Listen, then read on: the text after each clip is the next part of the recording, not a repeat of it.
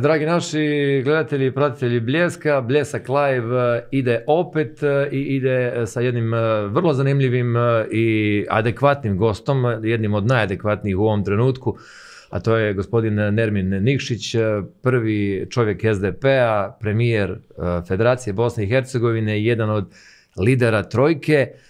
Razgovor sa povodom po mnogo čemu, prije svega drago mi je što ste došli, dobrodošli na Bljesak Live. Hvala na pozivu i na dobrodošli svakako mi je zadovoljstvo i evo koristim priliku da se one koji nas prate u ovom trenutku posebno pozivim. I naravno ženama 8. mart. A to bez, bez daljnjeg, dakle našim a, damama, drugaricama, majkama, suprugama, sestrama, žena, dakle čerkama naravno želim ne danas nego da im cijeli život bude 8. marta da a, provedu život u zdravlju, sreći i veselji. Nije puno drugarica ostala, ali ih još uvijek ima. Pa ima ih, pogotovo u ovom krugama gdje se ja kreću, gdje vole da ih se naziva drugaricama. Gdje se naziva drugaricama. Nekada smo svi bili drugovi drugarice, Bosna i Hercegovina se u Kako mnogo čemu... Kako smo gospoda na Jest, u mnogo čemu se Bosna i Hercegovina promijenila. Ja se sjećam još uvijek onih prvih demokratskih izbora, nisam imao pravo glasa, ali sjećam se euforije u Mostaru koja je govorila Crveni Mostar uh, će bez problema izići na, na kraj sa ovim i dolaze rezultati izbora. Uh, mnogi drugovi i drugarice mog uzrasta su bili u šoku jer su taj šok ponijeli iz, iz, iz kuće.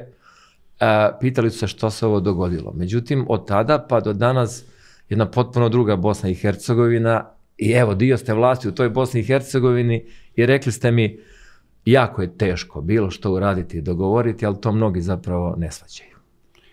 Pa evo još napred jednu malu digresiju što ste se uh, osvrnuli na te izbore na kojima vi niste imali pravo glasa, ja sam imao pravo glasa, ovaj, glasao sam, uh, naravno sjećam se ja tih odnosa euforije i, i na jednoj i na drugoj strani proslave pobjede vezanja zastava, uh, naravno da nemam, nije to neko moje političko opredjeljenje, ali nemam, ne bi imao ništa protiv da se realizovalo ono o čemu se tada pričalo. Niko nije pobjedio na način da, da, da kaže da će dijeliti zemlju, da ćemo ratovati, da ćemo se, smo biti da ćemo se svađati, govorili smo o, o Švicarskoj. A, nekako tu taj usud dijelim svaki, svaki izborni izbore kad je kao ono, znaš, kao iznenađenje, šta bi, kao, šta bi, pa valjda mi glasamo, ne, ko, ko, ko glasa. Uh, Eh, jeste, evo da, da, da, da odgovorim na vaše pitanje. Uh, zaista je teško. Eh, Bosna i Hercegovina ne trebam ni vama, ni, ni, ni građanima pričati. Zaista zemlja složenog ustavno-pravnog uređenja, jako podijeljena, jako heterogena, gdje je vrlo teško doći do određenih stvari, do konsenzusa. Upravo zbog toga što i zbog istorije koju imamo iza sebe, ali i zbog činjenice da se plašimo kao da se plašimo da a, napravimo iskorak, da se odreknemo dijelom ovog nekog a, kako bi to nazvao, biram riječ da, da, da nekog mhm. ne, ne povrijedim. Dakle, ja nemam problem s time da bilo, da, da, da smo svi mi u Bosni i Hercegovini, svako od nas ponosni pripadnik svog naroda. A, I oni naravno koji se izjašnjavaju kao bosanci, hercegovci ili bilo kako drugačije. Ali a, da se samo malo više a, odreknemo tog, tog dijela priče samo u mom narodu, da pokušamo shvatiti da imamo i druga dva konstitutivna naroda, da imamo i druge ljude koji žive oko nas, i komšije i susjede, i da a, se ponašamo malo više kao bosanci i hercegovci, mislim da bi nam svima bolje bilo. A, nažalost, a, mislim da, da, da je ključni krivac tu politika, dakle ne izuzimam ni sebe, ne izuzimam ni moju političku opciju, ne izuzimam nikoga a, istoga, jer svi vrlo često i vrlo lako a, padnemo u neki populizam, u skupljanje lajkova, u ispraznu priču od koje na kraju niko nema koristi, pa čak ni oni koji dobijaju lajkove. Pa istina je da zapravo to narod e, zove tuk na utuk, odnosno inat na inat, e, nema razgovora, nema pregovora, a i kad ih ima, onda se dogodi kao ono nedavno u laktašima, e, kada ste se dogovorili, nazivno je rečeno da ste se dogovorili i onda na nož, ovamo javnost Jer svaka vrsta dogovora nije pa dobro došla, jer evo, vi ste se dogovorili, nešto ste dali, ali vjerojatno ste prilikom dogovora i nešto dobili. Pa, nažalost, uglavnom se sve prvo kroz tu prizmu posmatra i ponaša. E, također, činjenica da kad nešto dogovaramo, prije nego što se naprave neki sporazum, imamo neki interni, interni dogovor. Kad nešto razgovaramo, dogovaramo, idemo u nekom pravcu, oni koji su domaćini naprave neki draft e, zaključaka, da kažem, odatle, pa onda svi mi dajemo nekakve primjedbe na to. Vrlo je često se dešava, znate, kad pričamo i kad pričamo istim stvarima, a, da svako misli da je kompromis ono što on u stvari predlaže. Mi jesmo, dakle, nije nikakva tajna šta smo tad pričali i o čemu smo pričali. I govorili smo tada i o izbornom zakonu i o ovim zakonima ovaj, koje u ovom trenutku razmatramo i zakon o sukobu interesa i zakon o sudovima. Govorili smo u pretežno o izbornom zakonu oko izbora članova predsjedništva. Govorili smo oko centralne izborne komisije. Govorili smo oko izbornog praga oko zatvaranja a, lišta. Dakle, sve su to priče koje smo, o kojima smo pričali, govorili i čak, ne mogu reći dakle, da smo se dogovorili, ali ja smo a, imali dakle, slično razmišljanje. Neki su malo, malo a, išli u jednu, neki malo u drugu stranu, ali priliko smo slično razmišljali kad je u pitanju i izborni prag i zatvaranje lista. Evo, kad je u pitanju izbor članova naravno da nismo, tu smo imali ovaj drugačiji pristup, drugačije stavove, uvažavajući sve ono o čemu, o čemu priča HDZ, uvažavajući sve ono što, što gospodin Čović govori, ali naravno mi, mi u ovom trenutku moramo i, i, i razmišljamo o tome kako i da provedemo odluke suda u Strasburu. Mi kad bi usvojili takav izborni zakon, on ne bi bio ovaj, eh, prihvaćen od Evropske unije kao ispunjavanje uslova, to ne, ne, ne, ispunjava, dan, ne ispunjava a, te standarde. Ali smatram da možemo ono oko čega se možemo dogovoriti oko zaštite integriteta izbornog procesa, eventualno kod centralne izborne komisije, zašto to ne bi uradili? Ja ponavljam, mogu da prihvatim i naravno, potpuno je legitimno kad neko kaže, e, ja ne bi dijelio sad izborni zakon, ja bi to uradio sve odjednom. I to je korektno, onda ne možemo se dogovoriti oko ovoga, onda ćemo čekati vrijeme kad se možemo dogovoriti. Ali to onda nosi rizik da će visoki predstavnik proglasiti dio izbornog zakona koji se odnosi na e, zaštitu integriteta izbornog procesa, a onda smatram, ne zato što smatram da, da, da, izborni, da, da visoki predstavnik nema ulaštenja, ja smatram da nije dobro ako se mi možemo dogovoriti da je puno bolje, pa čak i neki naš naše rješenje malo ispod onoga standarda koji bi proglasio viski predstavnik, bolje da, da, da, mi, da, da mi donesemo, da mi donesemo ovaj, rješenje nego, nego da nam to neko nameće da neko drugi za nas radi. Zapravo kad se malo bolje pogleda da ima više džentlmenstva u politici, možda uh, svih ovih problema ne bi niti bilo. Imam nekako taj dojam da kad bi se pošteno dogovorili, ajde, da ne biramo tog hrvatskog člana predsjedništva, da ne koristimo tu, ajde da tako kažem, da. rupicu, ali da na drugoj strani Hrvati pokažu kooperativnost, HDZ prije svega, jel, kao ipak najjača hrvatska stranka, da bi se zapravo lakše postigao taj dogovor, ali uvijek će biti neko ko će koristiti ne, priliku da... Bro. Dakle, kakav god je dogovor postaviti, morate uh, biti spremni na to da će biti jedna grupa manja ili veća političkih partija, građana, nevladnog sektora, neko ko će imati kritiku da to. Naravno da treba preuzeti odgovornost kad donosite nekakve odluke, pa biti spreman i na to, da nosite taj teret onoga što ste se dogovorili. U stvari, mi smo nekad, uh, sad koliko vas to interesi, koliko uh, želite da idemo, da idemo u širinu, mi smo, mi smo nekad uh, prije izbora, prije ovih posljednjih opštih izbora, ponudili rješenje pitanja izbora članova predsjedništva koje podrazumijeva provođenje odluka i suda u Strasburu i Ustavnog suda BiH. Čak je to rješenje prihvatljivo i HDZ-u. Nažalost, u ovom trenutku političke partije iz Republike Srpske nisu spremne to da prihvate, a radi se o indirektnom izboru članova predsjedništva u parlamentu Parlament. Bosne i Hercegovine i smatram da je to u stvari jedini način kako bi se moglo ovo pitanje riješiti, a da e, ne osjeća se niko ni pobjednikom, ni poraženim, a da provedemo ove potrebne odluke. To, to po, po, rješenje podrazumijeva da se Dom naroda državni sa sadašnjih 15 uh, e, članova, dakle tri kluba naroda po pet, poveća na sedam i da uvedemo klub ostalih tri delegata. Dakle, uh, pošto se sada pet delegata iz reda Hrvatskog, iz reda Bošnjačkog naroda bira iz federacija, pet iz reda srpskog naroda iz Republike Srpske, mi smo predvidjeli u svom rješenju da ova preostala dva iz reda srpskog naroda se biraju u federaciji, a preostala dva iz eh, reda bošnjačkog i hrvatskog naroda se biraju u Republici Srpskoj. Da se dva iz reda ostali bira u federaciji,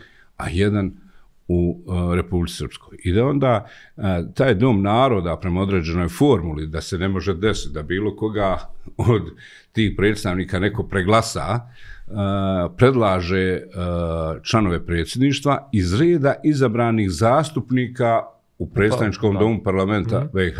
Što znači da imate s jedne strane ispunjen uh, legitimitet da su ljudi izabrani na direktnim Crpe izborima, legitimitet, tako je. a ovaj, svi mogu biti kandidovani, svi se kandiduju i svi mogu biti kandidati za člana predsjedstva, čime praktično provodite i odluku Ustavnog uh, suda i odluke suda u Strasburu. Međutim- Kaže mi HDZ je ovaj, ovaj, ovaj dio, prihvatljiv, uh, SNSD nije, oni smatraju da treba održati tu priču ovaj, uh, direktnog izbora u Republici Srpskoj, tako da je i to neka tema o kojoj možemo pričati u, u svemu ovome i tražiti rješenje, uh, jer, jer smatram da je ono u stvari najbezbolnije, ono ništa ne pravi problem ni ljudima u Republici Srpskoj koji će dalje predsjednika Republike Srpske birati kako ga biraju i sad, ovaj, i to nije problem. A u da se vratimo na, na, na, na onu suštinu, Dakle, ako se dogovor rješenje. želi Tako. postići, on se postiće vrlo brzo. Tražite rješenje, ako, ako, ako ste spremni za dogovor, onda ćete tražiti rješenje. Tako, može i telefonom na kraju krajeva, da. ne mora se ne nalaziti. Međutim, kažem, sad, sad taj pokušaj da se nešto napravi,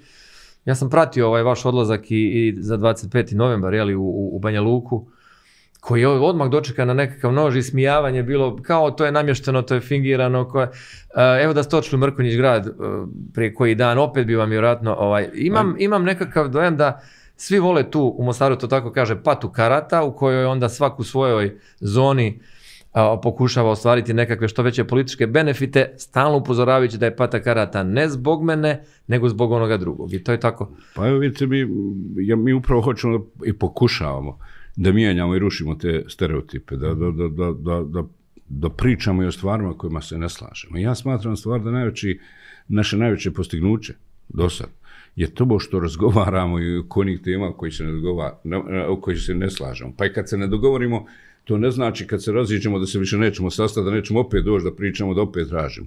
I na kraju to je rezultiralo ovim pomacima usvajanjem ov, ov, ovih zakona, primicanjem, ispunjavanjem uslova i, i, i našom željom da, da, da 21. marta dobijemo zeleno svjetlo za otvaranje pregovora uh, sa Evropsko, za članstvo Evropskoj uniji. Jednostavno, ne postoji alternativa pokušaju postizanja konsensa, razgovora, dogovora. U ostalom, evo, hajde da, da, samo da se vratimo dvije godine unazad. Dakle, politika podjela, svađa, ne, ne, ne, nerazgovaranja, držanja svaku u svom rovu, svaku u svojoj, ne, niko se, ni, da, da, da smo mogli s tom politikom biti članica, mi bi bili svjetski prvaci, mi bi bili prva zemlja u Europskoj uniji, ja.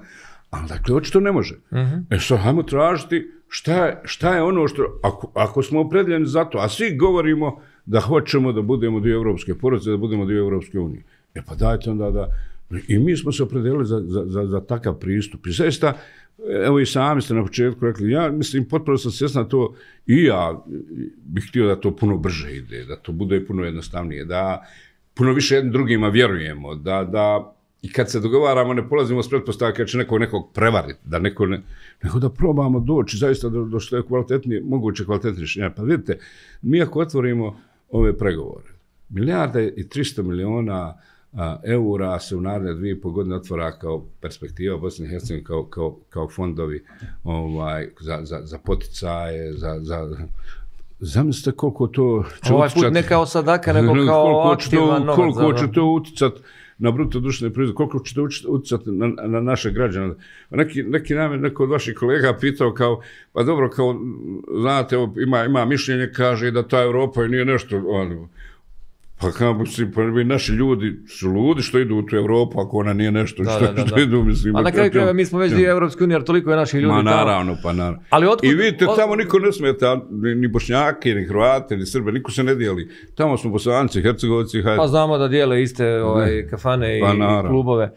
Ali otkud, E, politički euro, euroskepticizam i sve veća nekako, e, a u javnosti se to sve više i više govori da treba ići na istok, a ne na zapad. E, otkud se to pojavilo na jednom? Je li to rezultat činjenice da smo možda i, i, i ne želeći priznati koliko mi ništa nismo uradili, zapravo očekivali da Evrope da nas zagrli nakon Ukrajine, ono, da nas malo da ne uvuku u sebe, da, smo izgubi, da, da je dio javnosti izgubio živce ili dio čisto nekakvog političkog sljepila koje Eh, se često kod nas dogodi, nažalost. Pa ja mislim, ono, ovo, ovo, ovo, ovo oni koji, koji, se, koji to zaista uh, iskreno misle i govore, mislim da je ovo vaše, vaše drugo, druga tvrdnja da, da, da, da upade u, jedno, u jedan proces političkog sljepila, da ne razumiju procese ovdje. A, Bosna i Hercegovina je dio, dio Evrope, tu nema nikakve dileme i, i, i treba da bude dio a, evropske porodice i u konačnici, ovaj, samo da se vratimo u, u istoriju, ko su ti koji sam u sve Uh, i, i, i, i mane u sve nedostatke ko su ljudi koji su nam pružali najveću podršku i najveću pomoć kad uzmete, dakle to su Sjedinjene američke države, uh, Evropska unija, tad je bila Velika Britanija u Evropskoj uniji, sad Velika Britanija nije, ali, ali dakle to su ljudi Njemačka, to su ljudi koji su nam pružali ruku kad, kad je to bilo potrebno, kad, kad nam je bilo najteže. Uh, ja tu nemam nikakve dileme zašto treba da se opredeljuje uh, Bosna i Hercegovina, zašto treba da se, u, u kom pravcu treba da idemo. I, i to, činjenica je da, da, da uh, neću reći umorni, ali da, da i mi postajemo pomalo, pomalo opterećeni svim ovim što se dešava. Kad govorim mi, mislim na, na, na ove političke partije kojima je zaista želja da budemo dio Evropske unije. Jednostavno, nekad se mi osjećamo da, smo, da se nalazimo pred zidom, da se traži od nas da izvršimo nešto za što oni znaju da je nemoguće.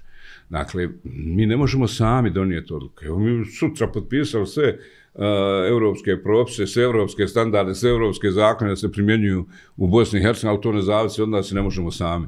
To je istina. Dakle, moramo se dogovoriti s nekim ko baš i nije ne, ne, nešto, nešto pretirano entuzijastičan, pa koji čak i, i, i razmišlja o tome, evo, o, o ovom dijelu, da bi se mi mogli okrenuti nekom drugom, a ne, ne Evropsku. Ja sam imao priliku često objašnjavati strancima neke stvari u Bosni i Hercegovini i imao sam dojam da me na pola već prestaju slušati jer ne mogu pratiti, jer to njima nije uobičajeno, oni žive u državama koje su drugačije uređene. Bosna i Hercegovina, nažalost, E, E, ili na sreću za nekoga e, jeste ovakva kakva jeste, ali zašto se zapravo često ta realnost ne prihvaća? Zašto se i dalje nekako mitomanski gleda uh, sa sve tri strane na nekakvu svoju agendu, a Bosna i Hercegovina u stvarnosti je ovo što ste vi rekli. Vrlo komplicirana, ali u osnovi i ne toliko loša koliko bi mogla biti. A, a, samo ću jednu malu digresiju upravo na, na, na, na fon ovoga koliko razumijem ili ne razumijem. A, nekad odmah poslije, poslije ovih naših a, ratnih događanja, ovdje ja sam radio a, u opštini, bio pod prijeske izvršnog odbora i vodio sekretarija za opštu upravu stamenog kolonija. Opština Konjic je bila proglašena prvim otvornim gradom, napravili prvo rješenje o povratu imovine. Ja. I onda smo jako puno radili sa međunarodnim predstavnicima međunarodne zajednice i oni su zaista ulagali u otvoreni grad i bili spremni za to. I onda, znate, dođete, vi sad njima objašnjavate ljudima koji su došli sa zapada, uh, što je stanarsko pravo. Da to u stvari nije vlasništvo. Da, da je neko drugi bio vlasnik stana, da je korisnik stana, imao da, stanarsko specifična pravo. Situacija, da, specifična situacija, I čao, sat, na dva sata objašnjavate. Onda kad on poslije sljedeće pitanje, vidite, on ništa nije razumio. Naravno, Drugi bilo, bilo, bilo je hiti, oni koji su dolazili iz istočne Njemačke, iako je već tad Njemačka bila jedinstvena, oni su znali šta je stanarsko pravo. Što hoću da kažem? A, jako puno uh, imamo, imamo nečečne razumijevanja. Dakle, ljudi ne mogu uh, da prihvate da ovdje se može desiti. Da doneste zakon i da se zakon ne poštuje. Da se donese presuda i da ljudi komentarišu presudu suda, pravosnovno, koja je to da donese Ustavni sud i da svaki ima svoje mišljenje o presudi Ustavnog suda koje su potpuno diametralno suprotne. Vrlo je teško ljudima sad te koji žive u uređenoj državi gdje to jednostavno nije moguće, mislim. Uh, I onda dođete još u situaciju da se traži kao postignite konsensus. Pa mi da smo mogli postići konsensus, ne bi, prvo ne bi nam vi trebali. bi, bi, bi se ovdje riješili, jel? Što mi smo ludi sad da tražimo nekada da dođe da bude arbitar ovdje ako ako je sve u redu, ako se možemo dogovarati. I nažalost, upravo zbog tih naših odnosa, još uvijek smo mi u stvari da imamo visokog predstavnika, jer čovjek očito ima posla ovaj, preko, je, preko da, glave, ovdje imamo ovaj ured Evropske komisije ljudi koji, koji dakle, naravno, ako ćemo biti, i, i, i kad otvorimo pregovore, kad, kad krenemo, i tad onda postaje jasno da, da, da nećemo moći Evropsku uniju sa uredom visokog predstavnika, nećemo moći u Evropsku uniju, šta će nam... Kako će to teći? Evo, svi govore, aha, mi ćemo možda 21. U stvari sada se govori vrlo vjerojatno Ja. ćemo dobiti i vi ste rekli da imate informacije, ali eto nećemo trčati Da. pred rudo. Slažem se, prvo skočiti, pa onda... Da, ćemo- ali šta će, što će se dogoditi znači 22. 23. mjesec dana nakon toga? E, Neka nova pravila zapravo stupaju na Imamo, snagu. dakle, imamo dvije, dva moguća. Polazimo od pretpostavke da izvještaj 21. bude u našu korist i da kažu a, ljudi Evropskoj uniji da evo Bosni i Hercegovini dajemo zel- zeleno svjetlo za otvaranje a, pregovora. Činjenica je da smo mi nekoliko puta iscali da tražimo odmah i datum, međutim upozoreni smo na to da to nije praksa, da ne može se odmah odrediti datum, ali se može u toj odluci reći da to ide što je moguće prije neki, neki okvirni uh -huh. rokovi, ne, ne sa datumom, nego sa, sa, sa nekakvim okvirnim rokovima. Jo.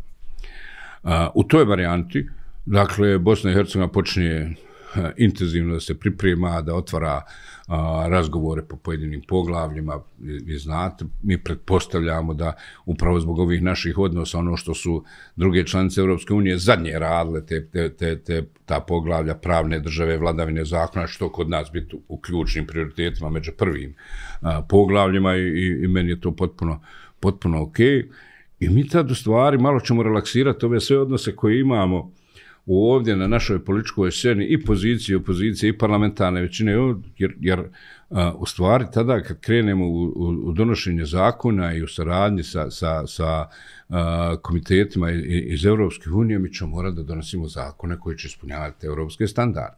Dakle, mislim da će nam to biti puno, puno a, lakše, brže, da ćemo morat prihvatiti neke priče, smo se opredijelili Ali, da, ali bit će da i tu puno, tom- puno drame će biti. Pa To naravno, najavi pa, nekako. pazite, u svim zemljama je to tako bilo. Jer pa, mislim, objektivno, dolazite na neke rejezove, na nešto, na neke, gdje, gdje, gdje naravno, bit će oni koji će dolaziti pod udar. Toga, sve, sve, sve razumijemo, ali upredijelili smo se za taj put i naravno morat ćemo ga Pa zato, rješavati. zato se i postavlja pitanje je li stvarno svi žele u Europsku uniju, je li ta želja zbilja iskrena, jer morat će se puno toga prelamati i Tako preko je. koljena i preko leđa i, i Tako je. e, u perspektivi možemo imati malo- drugu varijantu. Nezgodno. Možemo imati drugu varijantu. Mhm. Možemo imati drugu varijantu da ipak ne budu... E što ćemo onda? E, Vi ste rekli, neka ne očekuju, ništa. ne, ali ste rekli neki dan, ne, jedan, e, neka ne očekuju našu kooperativnu politiku. Pa da, dakle, mi smo zaista, evo, evo i sami, sami ste svjedoci, mislim, ovo što kažete, vi se nešto dogovorite, odmah i deset se tamo nađe da to kritikuje, da dogovorite bolje, kogod može da dogovori bolje, kogod može da, da kaže ovo smo se dogovorili, ovo su evropski standard, ja što potpisat odmah. Ovaj, nije lako se, se dogovarati. E sad, uh, u svemu tome nosimo i taj teret optužbi, lažnih, ovaj, prozivki, u jednostavno mi više nismo spremni nositi nos taj teret na takav način. Aha. Dakle, mi ćemo nastaviti da radimo svoj posao, nastojati da, da, da vlast funkcioniše što je moguće kvalitetnije i bolje, a neka niko od nas više ne očekuje da mi sad budemo ti koji će, ovaj, pri... pa mi se također znamo baviti populizmom kao i ovi, vjerujte, i čak utemeljano neke stvari pak i radimo i ostvarujemo i, i, i postavljamo. Tako da, da uh, Drugim riječima, Ja se, iskreno, biti- ja, ja se iskreno nadam da, da će ovaj prvi scenarij biti, biti i da je on izjasni i da ćemo ipak uh, sutra uz, uz ovu opasku koju ste rekli, koja je sjajna, uh, na kraju istirati na čistaci ko su oni koji su deklarativno željeli da idemo u Europsku uniju, a nisu baš spremni da usvajaju europske standarde ili, ovaj, mm. ili jesmo. Pa na neki način opet se zatvarate u patriotski blok, pa što bude da bude, ako se jednostavno ovo ne bude isplatilo na način da će Europa prepoznati, e, ali što ćemo onda? Ne mislim, ne mislim ovaj, ja da ćemo se mi, ne, ne, bi, ne bi to tako uh -huh. nazvao, evo i hvala vam da, da, da date, da, da probamo pojasniti. Dakle, ne mislim ja da, da mi sad ćemo napraviti neki blok koji će biti protiv nekog drugog ili protiv nekog trećeg uh -huh. bloka. Nego jednostavno, dakle, ja moram reći, evo, mi vodim federalnu vladu. Vodim federalnu vladu u kojoj, kojoj atmosfera takva, mislim, za poželjati, zaista. Ono, znate, kad idete na sjednice vlade, relaksirani, uh, raspoloženi, kad ministri dolaze, uh, bukvalno sve što smo do sad imali ovaj, na dnevnom redu federalne vlade, sve smo odluke donijeli jednoglasno, dogovaramo se. Naravno, uh, ne ide to ni sve tako preko noći, glatko, postoje stvari ko kojih duže razgovaramo, ko kojih pričamo dok dođemo do rješenja, ali kad dođemo do rješenja, ovaj, idemo na vladu i to jednoglasno prolazi. I to je atmosfera, ja dakle imam mogućnost da uporedim s nekom prethodnom uh, to sam atmosferom kad sam kad, bili ste premijer već da, jednom. ovaj gdje također smo mi u vladi većinu odluka donosili jednoglasno evo ali onda smo dolazili na problem u parlamentu E mi sad jednostavno imamo dogovor da ono što dođe od vlade u parlamentu treba da podrži parlamentarna većina i do sad se nije desilo da nije tako. Imali smo situaciju, imamo situaciju da nas, da su zastupnici razumjeli da smo spremni da budemo vlada cijele federacije svi, pa ću vas samo podsjetiti da smo rebalans budžeta, iako imamo tješnu većinu 51 zastupnika, osvojili sa 56 glasova, da smo a, budžet za ovu godinu usvojili sa 60 glasova, a, pri čemu dva zastupnika parlamentarne čine zbog bolesti nisu bila tu, što znači da, da i, i zastupnici nekih drugih političkih partija iz nekih sredina shvataju da je ovo vlada koja žele da bude vlada cijele federacije i da zaista donese dobro a, svim građanima Federacije Bosne. Ali ste svjesni da je svaki vaš potez na, ne, ne pod lupom, nego na nož se dočekuje? A, to, to, je mislim, li... Ja sam i navikao nekako na to, da, da je drugačije, ne znam kako Da, kako objašnjavali ste ovo zaduženje nedavno na jedan, odnosno pri dvije večeri, ne. pa preporučam čak da, da se to pogleda, jer ste to dobro objasnili ovaj da je to zaduženje recimo tako normalno uobičajeno i zadano već unaprijed. Dakle to je to sad, za zamislite dolazite u stvar za neko koji je sjedio u vladi koji je pripremio plan zaduženja federacije do 22. do 24. godine kaže vi nas dovodite u dužničko ropstvo. I onda to, to prolazi kod tih ljudi koji i ne razmišljaju o tome šta je. Kaj imate budžet 7,5 milijardi, vi se zadužujete 400 miliona. Prvo mi se nismo dodužili Marku. Još uvijek ti 400 miliona je ovi 7,5 milijardi. Jer, jer vi morate izbalansirati ovaj, prihode i, ra, i rashode. I to su obveznice kratkoročne i dugoročne koje Dakle, Marku dodatno se neće zadužiti federacija u ovoj godini, jer će sve te obveznice koje budu ovaj, eh, emitovane biti plaćene, i ostaće, ostaće kako, je, kako je trenutno stanje. Da sad ne ulazim da objašnjam kako smo prošlu godinu šta, šta smo zašli. Dakle, mi jednostavno ovaj, ništa, se, ništa se ne, ne dešava novo, ali ljudi to ispinuju i postaje. Samo da vam kažem da smo odgovorni poslanju vlade, mi za prva dva mjeseca imali 780 miliona prihoda, platili smo milijardu i 100 miliona a, obaveza a, koje su nešto iz prošle godine nešto, neš, i, i ono što ide za ova dva mjeseca ove godine. A, da smo u prošloj godini preko 300 miliona više platili za penzije od onoga što je ubrano doprinosa. Dakle, i nikome ne kukamo, nikome ne pričamo, mi smo to zatekli, vidite šta su nam ljudi ostali, jednostavno prihvatamo, to je naš posao, rješavamo to. Zadržat ćemo se baš kod, kod federalne vlade, evo, kad ste, kad ste načeli, pa ćemo se onda možda vratiti na, na, na, na politiku, a, pošto ste ovde u, u dvostrukoj funkciji ili trostrukoj čak. E, imali smo jedno pitanje prije nego što ćete doći, ovaj, e, vjerojatno netko tko vam je politički oponent rekao je da ste napravili 700 milijuna duga kao premijer prvi puta, a da ste sad došli u vladu koja je ostavila, ostavila 800 miliona e, suficita. Aj, to Možete kad... odmah to komentirati. Ma, klasična da... laž, ali to ne, to ne trebam ja da demantiram. Fino uzmijete ovaj, uh, dokument koji se svaki, svaki, svake godine usvaja u, u, u vladi. -huh. federacije, u, u parlamentu, a, gdje ćete vidjeti kad, kad smo mi predali mandat 2015. koliki bi javni dug federacije, uzmete sad kad smo mi došli koliki. Dakle, ja neću reći ni da je ova prethodna vlada balahala i ponašala se neodgovorno, ali eto, nešto su se malo više zadužili od nas, mi smo zatekli malo veći dug ovaj nego što smo nego što smo ostavili. Te spinove koje koje Pa pazite, jedan od prvih spinova koji, koji, koji se ja doživio tada kad sam ošao kao premijer, a, dakle, mi smo zatekli dug u, u fondu penskog vaskog osiguranja, presuđeni dug 190 miliona. Donijeli smo odluku kako ćemo taj dug vraćati. Za te četiri godine dug smo smanjili na 130 miliona, dakle, otplatili 60 miliona duga i dva puta povećali penziju za 5%. Prva reakcija SDA je bila, ostavili su na dug 130 miliona u fondu PIO Pa nismo vam mi ostali, mi smo smanjili vaš dug koji ste nam vi... Koji je već bio. koji je već bio. Dakle, e, to je taj, dakle, potpuno, potpuno identičan smjer. Nedavno je bila neka anketa i bila između ostaloga i na portalu Bljesak gdje su penzioneri umirovljenici govorili kao a bolje je bilo u vrijeme Novalića. Očito da zapravo je teško zadovoljiti tu populaciju. Ja, ja i ne pokušavam ni da se poredim, ni da, ni da pričam o tome. Dakle, mi smo zatekli neke, neke situacije, zatekli smo, zatekli smo budžete, mi se moramo odgovorno odnositi u, u, u tom dijelu. Bilo je došlo su s idejom, e, ka bilo bi super politički da podijelimo 13. penziju. Kao u Švicarsku. Ko super. Imamo li para? Pa nemamo 300 miliona, smo u gubitku već kad je u pitanju fond PIO.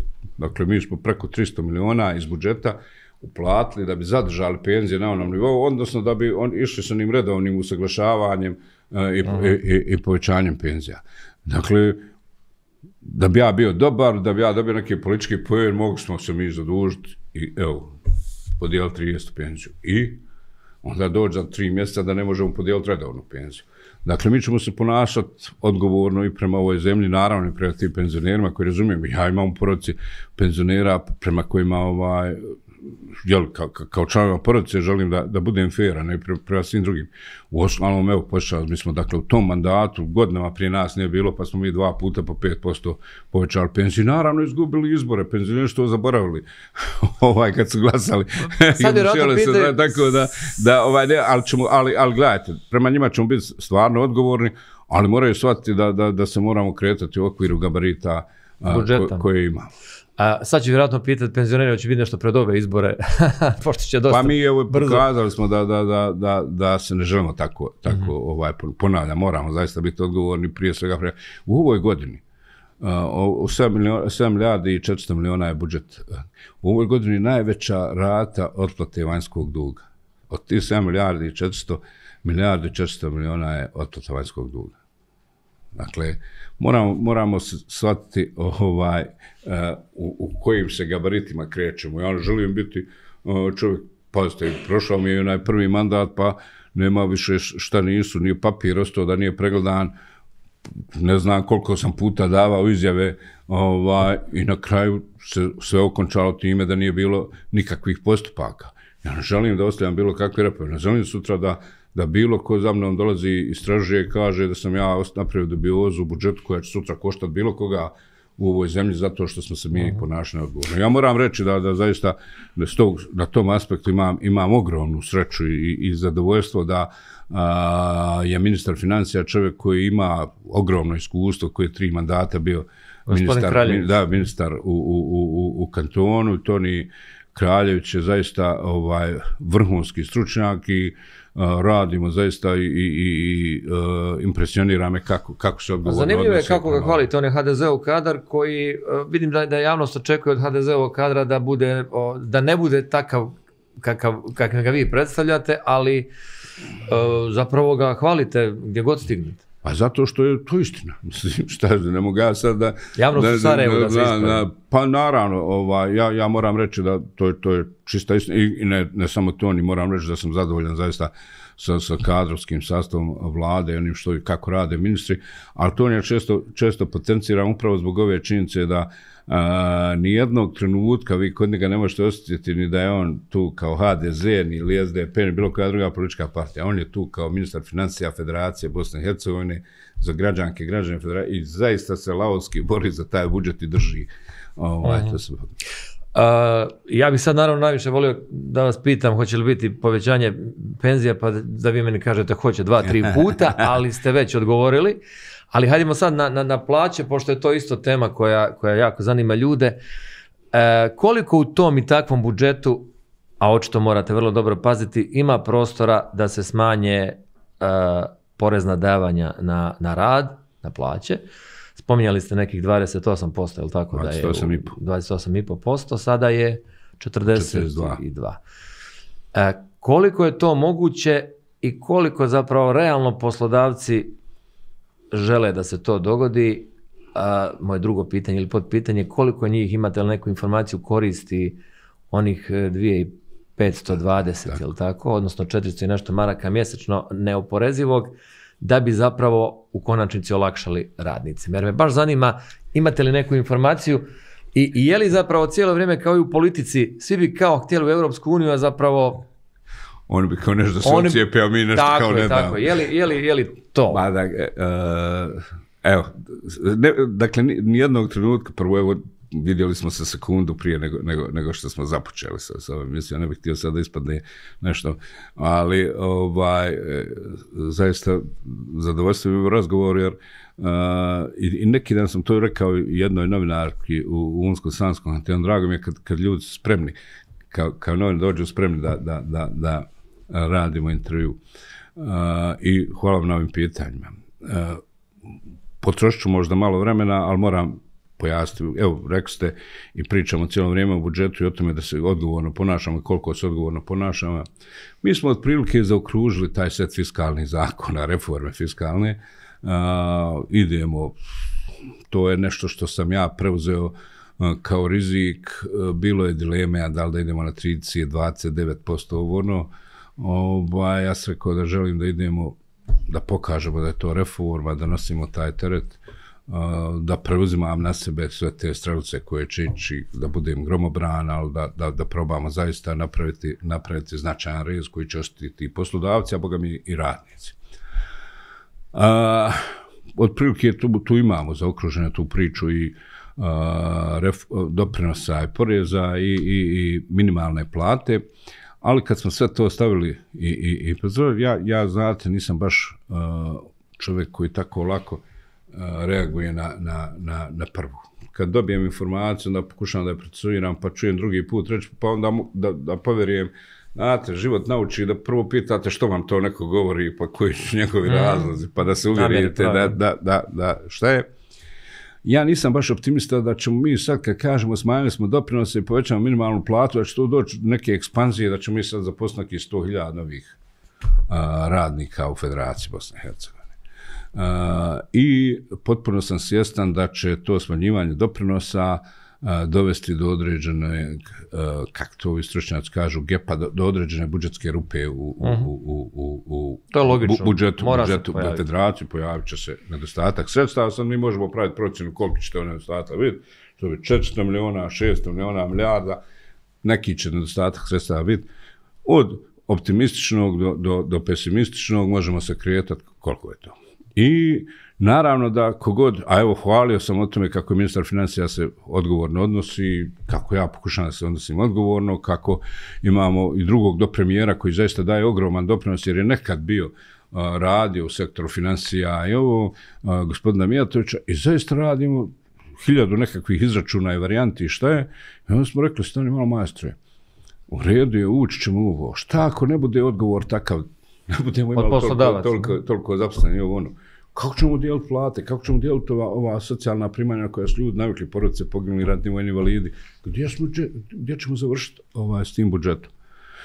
Šta je rješenje? Logično, nametnulo se rješenje, svi smo svjesni, ne trebam li vama pričati, idete, hodate, da imamo zaista jednu evaziju poreza, da imamo jako veliku sivu zonu u kojoj ljudi ne plaćaju poreze državi, a, a, a uredno i naplaćuju od korisnika. Mm -hmm. Znate, vi dobijete račun na kome je 17% poreza, ali nisam baš siguran da, da, da u najmanje 30%, a boga mi pola tih računa i, i tih poreza koji su obračunati i naplaćeni završi, završi u, u, u državi.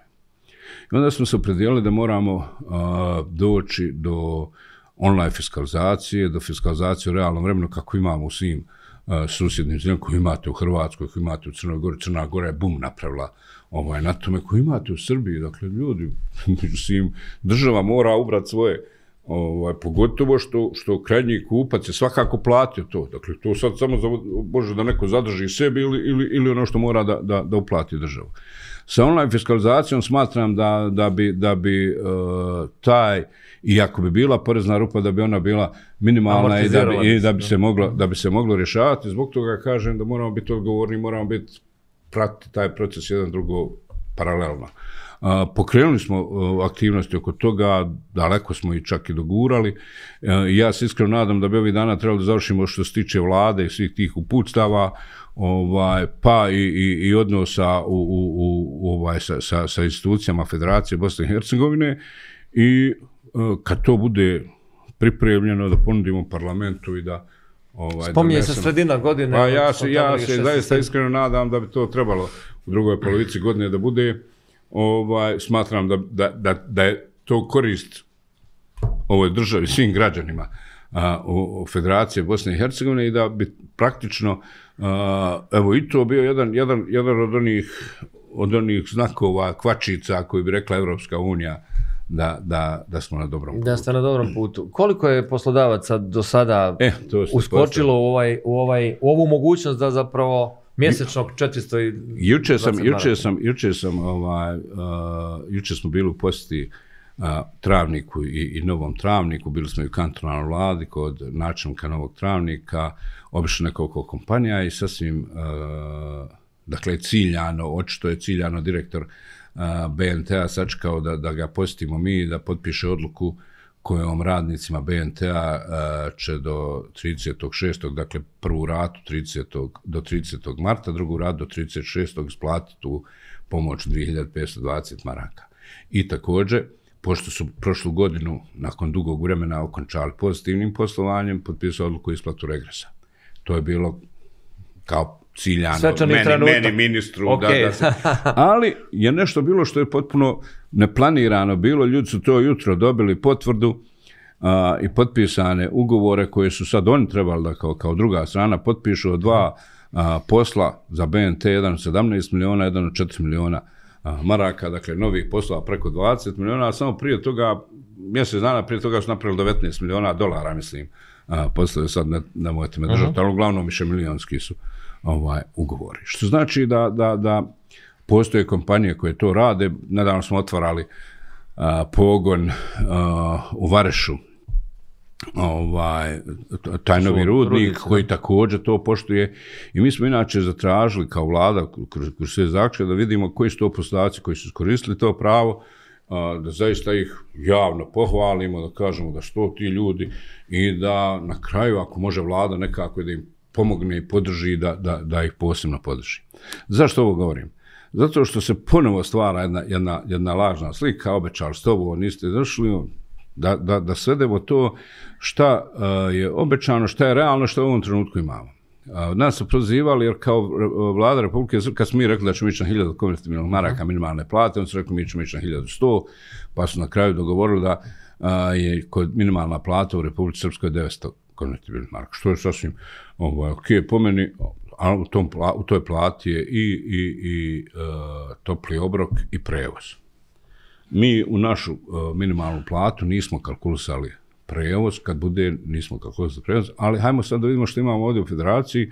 Dakle, po našim aktualnim propisima u nas je trenutno minimalna plata 619 maraka. Kad to na to dodate topli obrok, kad na to dodate prevoz, kad na to dodate ovu, ovu odluku ovaj, u, -huh. koju vlada omoguća 420 maraka, maraka mjesečno neuporezivo da se radi smo isplatu, to izađe negdje na 1350 maraka. U idealnim Dakle, u idealnim uslovima. Ne mora. Mož, ne, mogu isplaćivati 1000. A u tih 1000 će plaćati doprinos samo na 619 maraka. Uh -huh. Dakle, mogu isplaćivati 1100. Dakle, mogu se kretati raspo, evo 900 do, do 1350.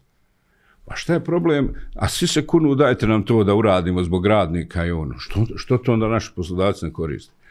A, kako će isplaćivati platu od hiljadu, a, minimalnu platu od hiljadu maraka i kad smanjimo doprinose, bit će veći doprinosi nego ovo što sad plaćaju na, mm. na ovaj dio. Je li ovo na neki način bio lakmus papir da vidimo kako poslodavci a i to, reagiraju? I to, i to i pazite, to je bilo i neki naš odgovor na, na, na, na inicijativu poslodavaca koji stalno govorili dajte nam to da pomognemo radnici. Oni su čak tražili da, da tih 420 maraka bude oporezovano 10%. Evo mi smo i bez toga, evo rekli nema, nije oporezovano 10%. Mm. Evo znate sad se traži sad razlog zašto. E, sad, kad ne možemo mi to svakom isplatiti, treba ste nam dati da mi možemo odrediti kojim ćemo raditi. Da. Prvo, mi nismo rekli ovaj, da morate isplatiti tih 420 maraka. Mi smo rekli da se možete kretati do 420 maraka. Mm -hmm. možete isplatiti 20, možete 50, možete 100, možete na do 1000 maraka i reći, evo, kao da je, dakle, ako hoćete da, da, da, da se ponašate prema tome. Ali naravno da morate to svakom radniku. Pa šta ću, mislim, šta je, kad bude minimalna plata, moraš svakom radniku platu koji radi. Uh -huh.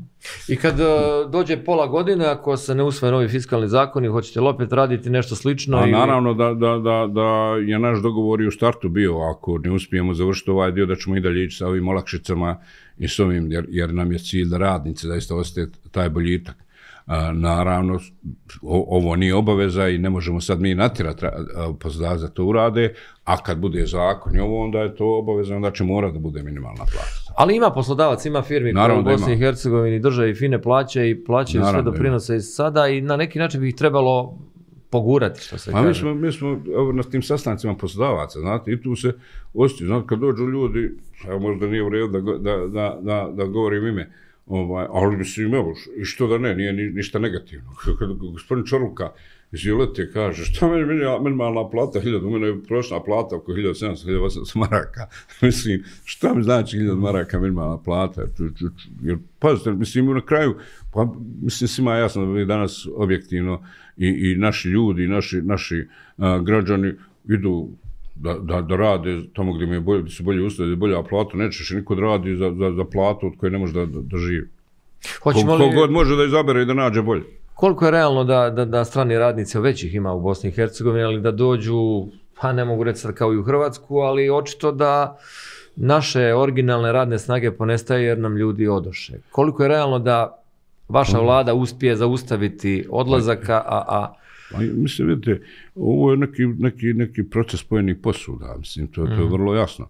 Ljudi iz Hrvatske kao, kao, kao članice Europske unije imaju puno lakši pristup i odlaze da rade negdje gdje imaju veća primanja. Naravno da onda odade idu u Hrvatsku koji imaju bolja primanja ili neki dolaze drugi ljudi u Hrvatsku. Kako odlaze ljudi odavde, kako ostajemo i mi ovdje bez radne snage, tako i ovdje neko mora da dolazi. E naravno, nama neće doći ljudi iz Europske unije, iz Hrvatske, nama ipak dolaze neki ljudi ovaj, iz nekih drugih područja, nekih drugih kreva, ali ja smatram da i kad postavljamo ove stvari, vrlo često pokušavam da to, da to uh, pojasnim, jer znate, uhvate, uhvate vas ljudi za, za, za riječ, pa, pa onda ovaj, možda nešto nespretno kažete. Naravno da imate primjere i, i siguran sam vi komunicirate s ljudima koji su otišli, koji a, rade vani, a imam eto i, i, i članova svoje porodice. A, dakle, ljudi žive u uređenim zemljama u kojima sve imaju kvalitetno riješeno i ono, ali objektivno, a, ništa ja ne preuveličavam, ali ovdje, i mislim čak nije to samo Bosna i Hercegovina, mislim Balkan i Hrvatska i Srbija, takav mentalitet, Crna Gora, ovdje se ljepše živi. Mi nekako, nekako relakslanije živimo, to, to, to, to drugačije doživljavamo družimo se nakon radnog vremena uveče, u vikendima, ovo, to sve mora biti dogovoreno, nema da dođete kod nekoga ono iznada, evo, evo mene, hajde, gdje si ovaj... To je često, to je često ono što se spominje kao negativno vani, ali ima i puno pozitivnih stvari koje e, sad, mi nemamo. Sad je stvar da mi napravimo ovdje ovaj, Može a, a, a, ambijent, da, da napravimo klimu, da ljudi mogu zaista normalno da žive od svog rada, a siguran sam da možemo ako hoćemo, i da onda ovaj, ljudi se počnu vraćati, mislim, da, da, da, da, da, da shvate uh, koliko... Ja sam nedavno bio, evo primjer uh, Ljubuškog, ovaj, bio dan opštine, dan grada, i onda sam gledao na njihov prospekt i šalio sam se naravno, ovaj, kad, sam, kad sam govorio, rekao, vi ste u, u Ljubuškom kraju da realizirate onu uh, a, pjesmu Dine Merlina, Moj život švicarska, skoro pa savršen. A, a, a, šta, a, šta je, a šta je, šta je ovaj, poenta? Dakle, vidio sam tamo da imaju dvije porodice švicarske, jedna je švedske, jedna je iz danske, čini mi se, dakle, koji su radno sposobni, nisu penzioneri, radno sposobni i ljudi su došli da žive tu, da žive u Ljubuškom, zbog klime, zbog uh, ambijenta tu, zbog okoliša, privredom se nekom bave nešto, ne, i tu su žive, i ja kažem, dajte, jel vidite, kad ljudi prepoznaju gdje, gdje i šta, pa što ne bi dolazili da, da, pa mislim, ali da, da pokažemo da nismo mi plemena onda koji se hvatamo za vratove, ono nešto. Da. Pa možemo mi biti fini kad, kad, kad, kad nam se hoće, što se kaže, ali ovaj, dosta ljudi i, dan danas voli reći e, da su to ona vremena, misle naravno na vremena kada je stranka koju ste vi zapravo sljedbenica bila jedina partija ovde, i vole se ljudi prisjetiti tih vremena kada su imali siguran posao i relativno finu plaću.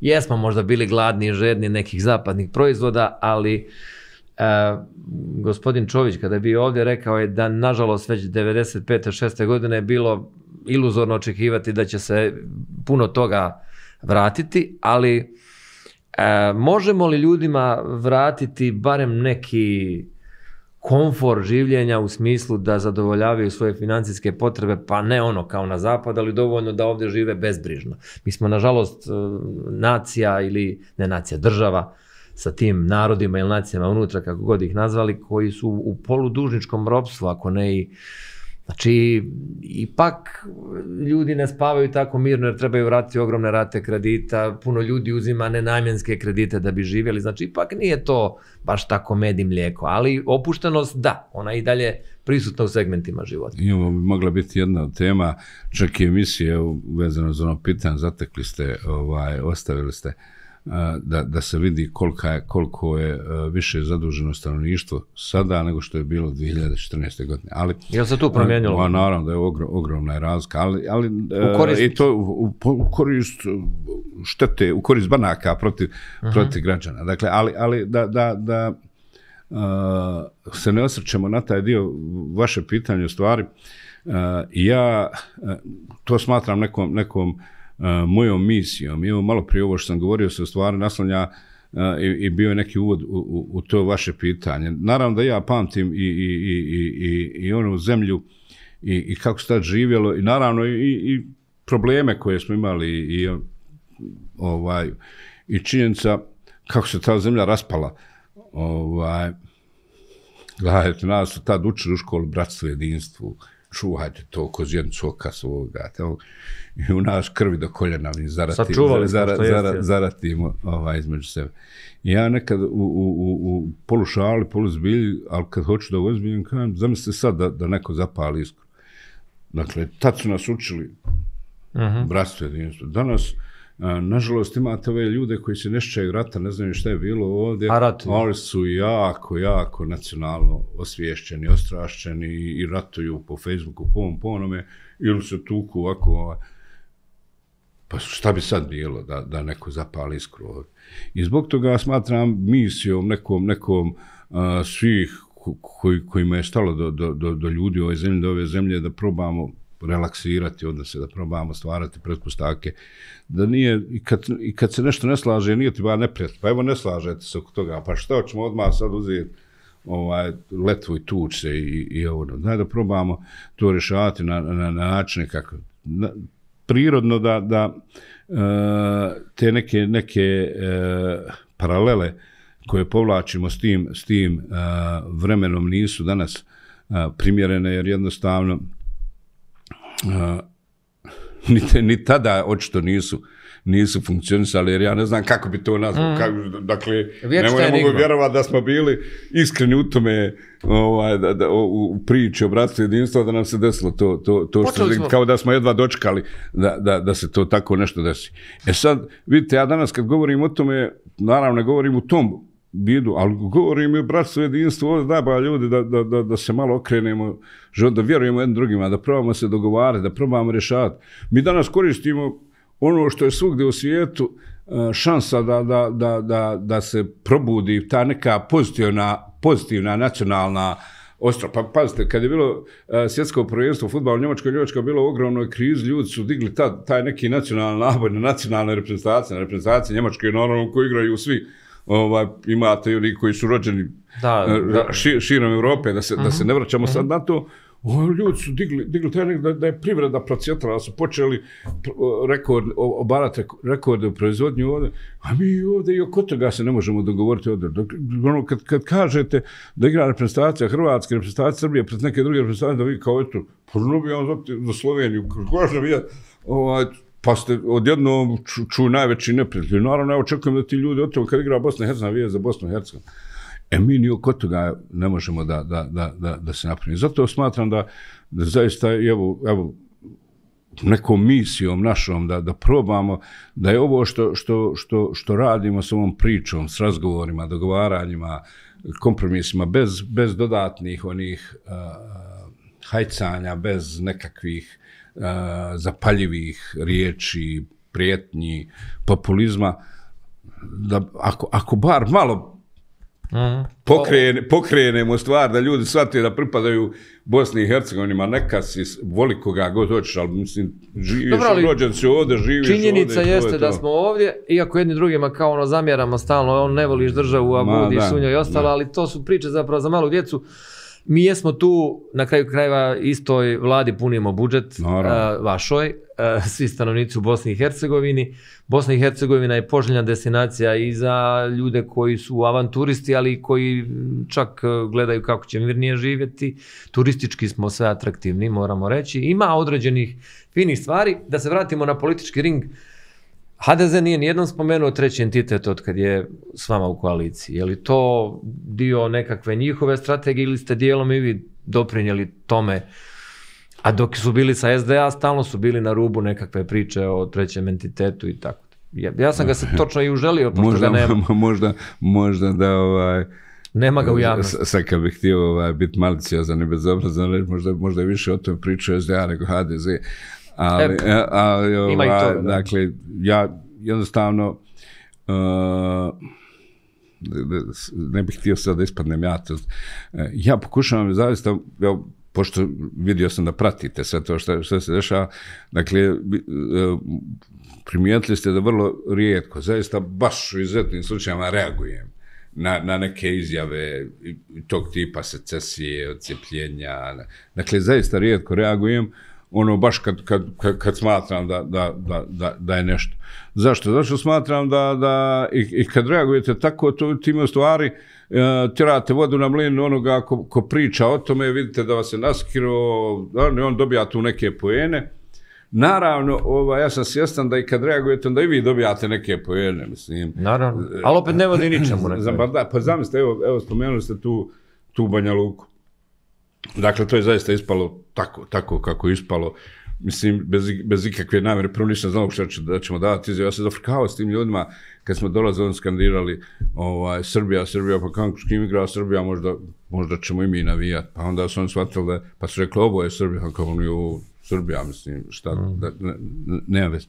I od toga je napravljeno, kao da, mislim, ne znam šta da sam uradio. Možete ovamo napraviti šta god hoćete, to je, to je, to je važno. Ja u stvari mislim da trebamo raditi na, na, na, na o, upravo, ne mogu reći smirivanje tenzija, na, tome da, da, da shvatite ti ljude, ja kad sam došao tamo nisam došao nikoga ni da provociram, ni da ovaj, izazivam, niti da, da ponižavam, ni ovo, to, to, mislim, koliko god se mi upinjali, to je dio Bosne i Hercegovine, to je Bosna i Hercegovina.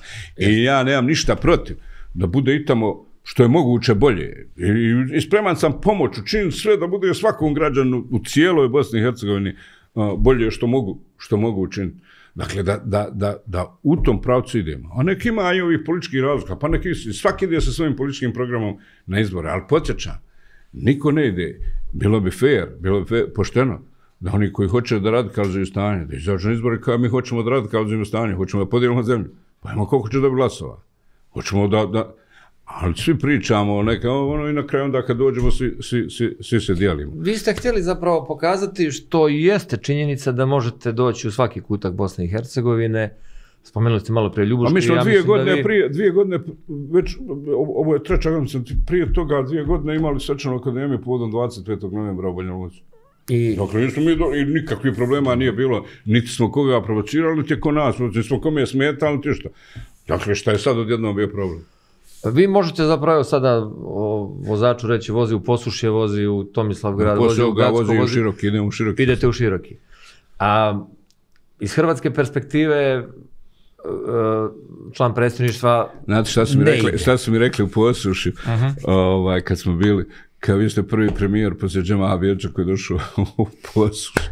Ovaj, naravno, ja zaista se osjećam, ovaj, da, dakle, da, i, i prije ovoga, prije nego sam bio premijer, pa mislim, što, ja sjedem u auto, svugdje sam bio i, i, i, i nisam stvarno nikad doživio nikakvu neprijatnost. Mislim, može biti naravno da te neko krivo pogleda, da neko nešto i kaže. Ali dobro, šta mislim, svaki ima pravo, pa ne, ne, Pa mislim zapravo pa ne sad pričam i da svakoga voli, ne postoji čovjek koga svi vole, mislim, to da, da, Ono što je zanimljivo u Bosni i Hercegovini zapravo jedan na jedan nema tog ispoljavanja. Ljudi kada rade, Da, rade, da. kada žive, žive. Tako. E, Zašto, kako objašnjavate zapravo da hrvatski, odnosno član predsjedništva iz reda hrvatskog naroda ne ide u hrvatske krajeve? Odnosno krajeve gdje su Hrvati većina. Pa ja, mislim, Sve ove godine, mislim, ipak je to mislim, malo- Mislim, mislim da, da, da a, ne postoji ne postoji racionalno objašnjenje, ne znam. Dakle, a, već, već jedan period i nemamo neku, neku komunikaciju da, da, da mogu reći da, da sam razgovarao u nekom prvom mom mandatu smo i razgovarali o tome da idemo. Ovaj, ja sam i to dišao, i bez obzira što HDZ tad nije, nije bio dio vlasti, moram reći da nisam imao nikakvi problem, bilo smo i tad u Ljubuškom, recimo tad je bio e, gospodin Barbarić, uh -huh. ka, e, ovaj, e, Gradonačelnik. gradonačelnik, mi smo išli s autocestama, potpisivali ugovor o izgradnji one dionice autocesta, potpisali ugovor o prijateljskom okruženju, napravili Ljubuškom, ovaj, dogovarali se o tome da on neke svoje ovaj, ljude koji su tu bili u stanju socijalne potrebe zaposli kao, kao, kao čuvare, kao na, na, na autocesti. I sve dogovarali, bez obzira na, na, na, na neke političke razlike, jer zaista, pa ponavljam, mislim, to je, ja, ja to satan kao, kao, kao Bosna i Hercegovina. I naravno, može me neko i krivo gledat, može mi nešto i dobacivati, može i ovo, ono, ja ću opet doći i, i drugi, treći put, upravo da pokažem da, da, da, e zašto to ne radi gospodin Komš, to je pitanje za njih. Ali on nije izdajnik, vi ste izdajnik. Oh, pa dobro, ja, pa dobro, nije, nisam ni ja izdajnik Rom, ja sam izdajnik Bošnjaka. Pa da. A, z- Ma, mislim, vidite nešto. Uh, mislim, važno je naravno kako se čovjek hoće, ja znam da, da uopšte želim, ne želim licitirati na tim, bio pripadnik, nisam bio, šta sam radio, kako sam radio, ja smatram u svom životu, nisam nikad nikog na taj način izdo pogotovo državu, pogotovo, ovaj, ako hoćete i narod, ja imam neki svoj pravac, ja smatram, vrlo često ostaje u manjini boreći se za neke svoje principe, kad smatram kad bi izdo ne, nečiji interes, da bi izdo i, i svoju porodicu, da bi izdo sve. Naravno, i, i to čak i ne ostavlja nekog pretjerano, treba vrlo često ljudi pitaju kako, to, kako se nosiš time, što ne znam ni ja, mislim, imam neki mehanizam gdje ja vrlo rijetko čitam ove, ne, nisam na Facebooku, to mi vjerovatno sačuva psihički. Ovaj, ne, ne, ne, ne čitam komentare, pokušavam se suzdržat, su, ovaj, o, o, ono, zadržat, zadržat tu disciplinu, ali naravno čitaju članovi porodice, čitaju djeca, čitaju ovaj, čita porodica. Nije, nije to jednostavno, mislim, znate, bez obzira na sve, kad se sto puta laž ponovi nekom postane to istina, pa dođe ljudi pa počnu pitati, ovaj, pa stani, o čemu se tu radi? I sad onda, tad nastradaju oni, jer ti kažeš da, dosta šta ću trebati svi tebi bra, objašnjavati, dosta, dosta što me ovako pljuju. Ali kažem, šta ja znam, nek svak nosi svoj teret odgovornosti, svoj križ, što kažu, pa ćemo vidjeti ovaj, šta će na kraju biti.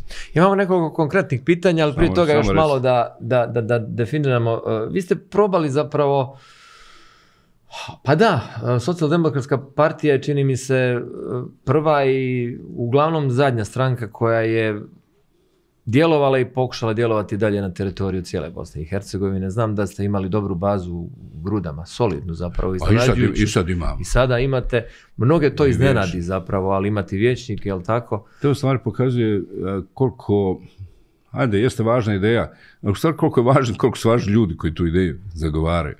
Jer mi imamo u, velikom dijelu e, opština i gradova u cijeloj Bosni i Hercegovini neke svoje organizacije, nek na mikroplanu i ovo ono, pa neki uspiju, neki ne uspiju, uh, ali u stvari važ, važno je koliko imate ljude koji su spremni zaista da, da, da i koji onda u toj svojoj lokalnoj sredini zaista se izgrade kao neke uh, moralne uh, ličnosti i autoriteti koji se bore za određene principe, koje onda ljudi počnu cijeniti čak i kad se ne slažu s tim principima i kad se ne slažu s tim, onda kao pa stani, ne mogu ja njemu ništa reći, on je cijeli život takav. On stalno to, to zagovara, bori se zato i onda to na kraju da određene rezultate. Mislim, potpredsjednik SDP-a iz Gruda Ivan Boban i on zaista to nosi, nosi sjajno, bori se i, i, i ovo. I smatram da, evo, puno toga zavisi, imamo sad a, sjajnog vječnika tamo koji, koji, koji, koji ovaj, pokazuje, dakle, bori se za, za, za svoje lokalno stanovništvo koje su svi Hrvati, ne može sad reći da se on bori Da, za nekog ova, da, da. da.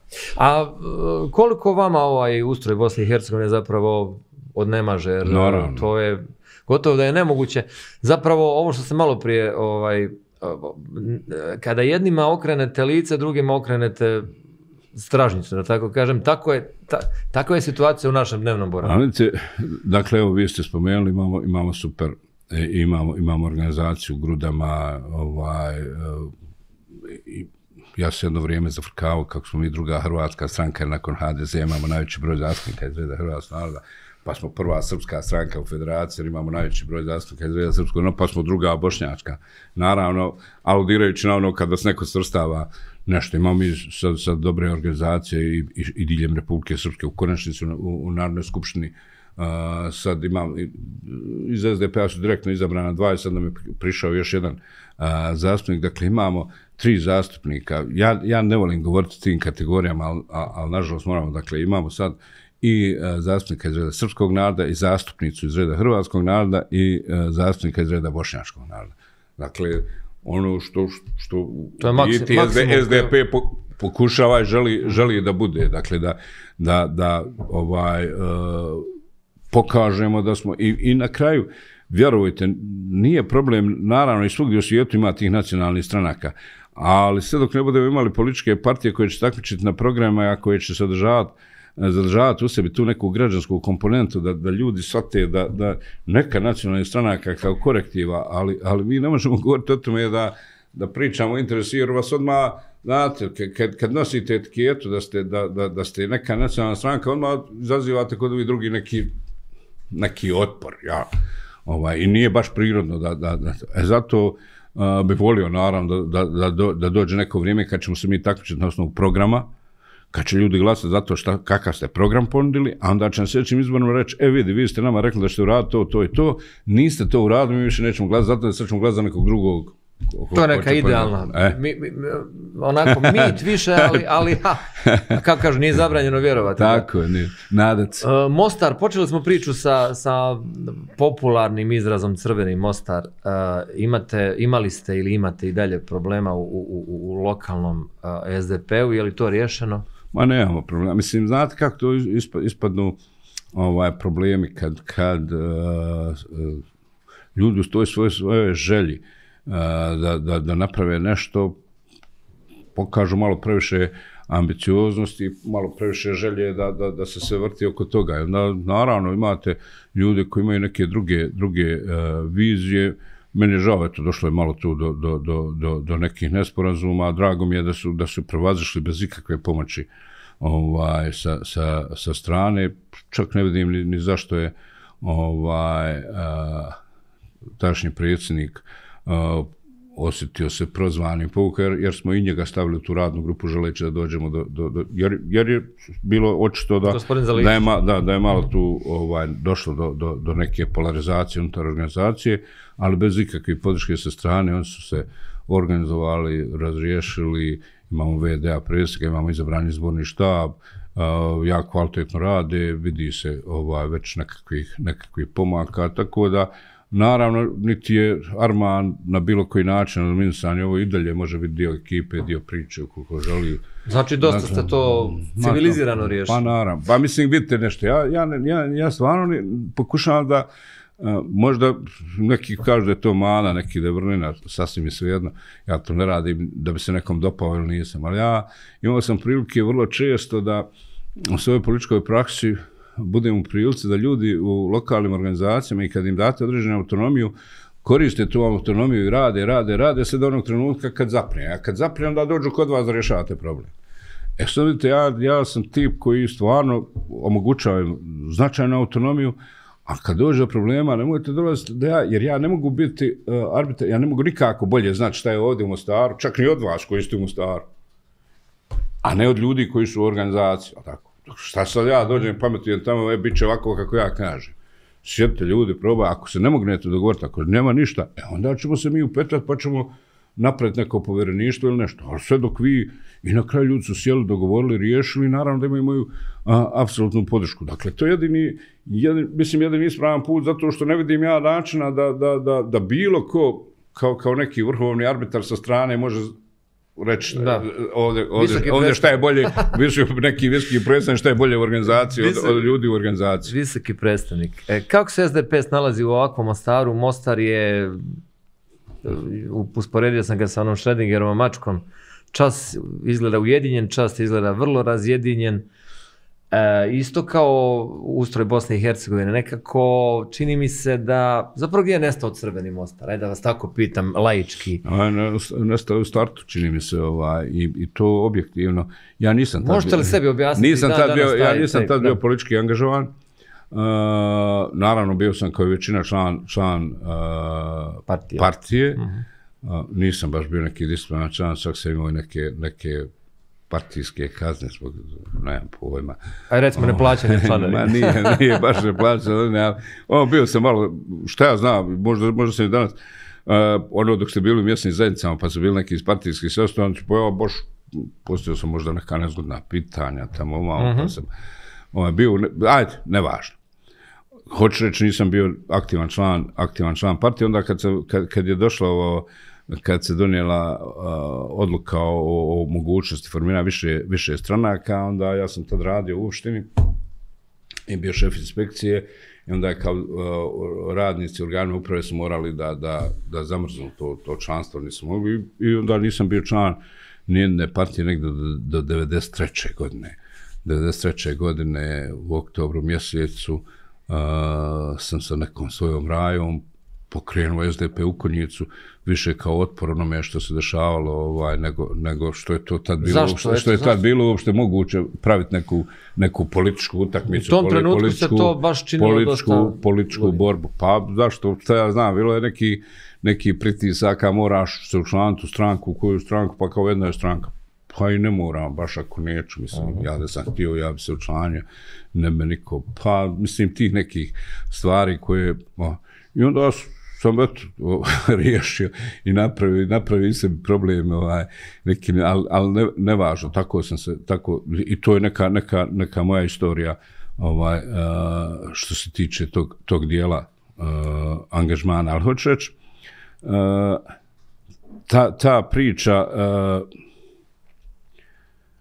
političkog angažmana. Ja nikad nisam, evo to je, to je nešto što i kad sam radio i, i u opštini, dakle nikad nisam pokazivao da na bilo koji način uh, pravim razliku između ljudi uh, ni po tome kako se zovu, ni koje su političke. Smatrao sam da ako radiš neki posao, moraš to raditi profesionalno. Naravno, u periodu kad se ti se politički boriš, praviš program, radiš. Uh, ja sam ponosan recimo na činjenicu da neke, neke nažalost od tih žena nisu žive, a neke jesu i to, ne. E, Kad prođete kroz konjic pa vas vide te, te, te neke stare gospođe žene koje su se vratile nakon rata u konjic dolazile kod mene, i kad one pođu da pređu cestu da bi se one tebi javile, da Jel, bi da. se zahvalile, ja, meni je to bila uvijek neka, neka, neka životna Satisfakcija. satisfakcija, za, ta, za taj teret koji si nosio da kažeš, jer pazite, nije to baš bilo u tom periodu ni, ni, ni poput 93. godina. Što ćemo sa, sa SDP-om u Mostaru, evo za lokalni izbor idu, kome će se SDP zapravo Pa, mi imamo, imamo odluku, obratiti, prikloniti ili... imamo odluku, odluku uh, organa SDP, dakle predsjedništva SDP-a, da SDP ostaje opredjeljen ovo- ovome što smo imali na posljednjim lokalnim izborima zajedničkom nastupu trojke, gdje je god to moguće. Sad, naravno, odmah ide pitanje šta znači gdje je moguće. Pa naravno da postoje neke lokalne sredine u koje jednostavno ne možete pomiriti neke lokalne mm -hmm. sujete, stavove i ovo ono i da naravno ne želimo da, da, da, da nam zbog toga propadne ovaj projekat. Jer smatram da je projekat pokazao se ispravnim, pokazao su, dao svoje rezultate prvo uh, u Sarajevu gdje smo mi u tom trenutku napravili stvarno nešto, ja ušao u jednu političku politički rizik da vjerovatno da, da, da se to nije desilo ne bi, ne bi mogao ostati predsjednik SDP-a jer, jer u jednom Sarajevu mi smo u tom trenutku rekli u redu mi čekamo poziciju gradonačelnika, nemamo kandidata za načelnika jer smo napravili takvu procjenu da su ljudi iz NIPA i naše stranke me prevarili Mm-hmm. Vjerovatno ne mogu biti prijesnik SDP-a. Da nismo ostvarili rezultat, pa da nemamo to, vjerovatno je morao nekim nadokazivati da je bio naš kandidat, kako bi naš kandidat pobjedio i on. Uh, dakle, ali napravio se rezultat. Smatram da, da nažalost, ta trojka nije u ostatku Bosne i Hercegovine ne funkcioniše kao u Sarajevu. To ali u Sarajevu da. imamo i najveću istoriju i najduže to traje. Želimo to da prenesemo i na ostatak. Vrlo često pokušavamo i o tome govorimo da odemo zajedno, da ljudi vide naš odnos, prvo Peđin, uh, Dini ni moj, pa sad jedin, Dini ni moj, da, da ljudi vide da, da mi zaista funkcionišemo bez a, nekakve svete, svađe rasprave, da se dogovaramo, da to prenesemo i na teren.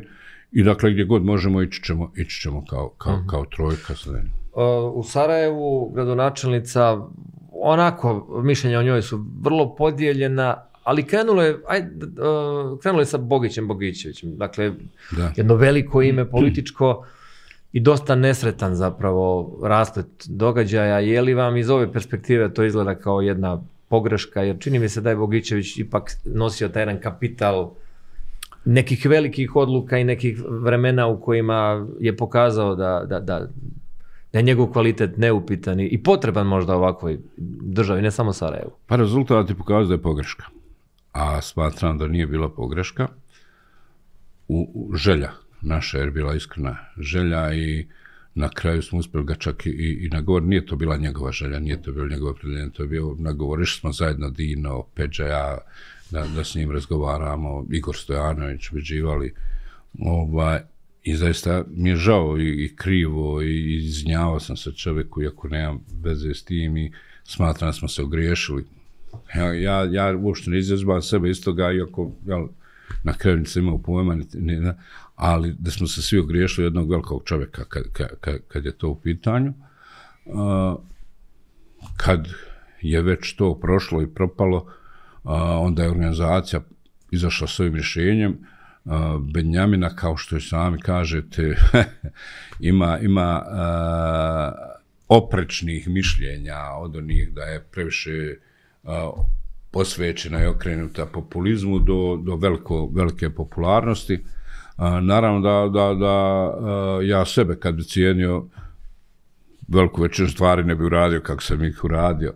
Tako da vjerovatno kad nekog drugog cijenite, onda isto tako imate taj neki hmm. kritički osvrt, ali smatram da a, uglavnom najveći broj e, stvari koji radi, radi, radi korektno. A, ja spadam možda u neke starije ljude koji a, ne smatraju da baš sve mora ići na društvene mreže, da sve, sve mhm, mora mhm. ići tako, ali znate šta, pokazuje se da ja nisam u pravu. jer, jer, jer, jer, jer, jer, ovaj, Danas to tako funkcionira. Ali ste uspjeli sa, sa Benjaminom, Benjaminom ili ona to, ovaj gospođa Karić, rođena Londrac ili kako to tako ide. Tako je. Ovaj, uspjeli ste ono što vam inače ne uspjeva, to je da SDP-ov kandidat zapravo ima potporu i DF-a i SDA, odnosno njihovih simpatizera u mnogo čemu.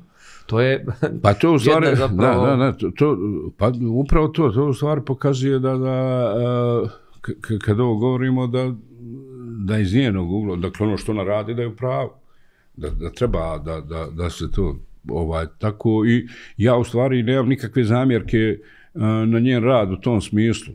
Ponavljam, ja Ja sam neki tip koji, koji se ne voli baš slikati i, i o svemu, ali to ja nisam mjerilo. Mjerilo je ono što, što dolazi mm. kao i ja s ovim ljudima koji se bave političkim marketingom ja su stalno u nekim sukovima znate ja, kad, kad se piše neki moj status ja ne dam tamo da se što što napiše što što ne nemoj mi nikakve obećanja oni zvučni ovo ono da držimo se oni realnosti držimo se na zemlji šta je kako je možda sam ja u prednosti jer ja više nemam neki politički ambicije da se bavim da. još, još dugo politikom Koliko je, imate u planu? Pa ja sam, dakle, 63. godina, ja sam pred penzijom. Šta Pitao sam gospodina Čovića, on je nešto stariji od vas, on je rekao, već vidi taj odlazak, ali nije htio reći... Ma, ja, ja jedva čekam da... da, da, da. ali morat ćete... A pazite, mislim, šta ja znam, da, kako, kako da te objasnim, iako i ovo, i ovo je... Uh, ja stvarno dajem na neke druge, druge vrijednosti, ne previše na tu javnost, ne previše na... Ja, ja već imam troje uničadi, da me provoditi vrijeme s njima. Da, mm -hmm. da, da, da, I vi imate 24 sata kao i svi ostali. Morat ćete mi prokomentirati ovu novu aferu, odnosno ovaj slučaj e, sa gospodinom Franjom Šarčevićem, pošto je gospođa Benjamina Uh, uh, praktično prepiska neka, neka traje, mislim da je danas dala, dala uh, odgovor. Uh, je li to potrebno u ovom trenutku i je li se zapravo ove stvari mogu drugačije rješavati? Neću, evo ja neću to komentarisati, komentarisati čuo. Ovaj, mislim, to je onaj... To... Slučaj slikanja sa ovim dječakom sa... Ma, ovaj, hoću, hoću, ovaj, e, ako, ako, ako se, a mislim da se radi u istom, ti pojavila se uh, prepiska u medijima između mene i njega, ovaj, gdje ja, gdje on mene objeđuje da ja ne trebam smijeniti svijeku, gdje ja kajem ne bi ja to nikad uradio, to neko drugi radi. Dakle, potpuna laž, neistina, niti smo razmijenili poruke, niti ovo, dakle, ništa. I, i onda čak bilo hoću tuž, neću tuž, ma šta ću tuž, dakle, tako da, mislim, ja smatram da je potpuno bespotrebno s njim se prepisivati, jer on traži na taj način tu neku pažnju, neku, neku... Gospodin Žarčević. Mada, ovaj, medijskog pristupa. Pa evo, kažem vam, dakle, objavili su to neki, mislim, prije, prije svega, ovaj, moj omiljeni portal Slobodna Bosna je objavila tu prepisku između, između mene njega, dakle, nigdje, nigdje veze, mislim. Uh -huh.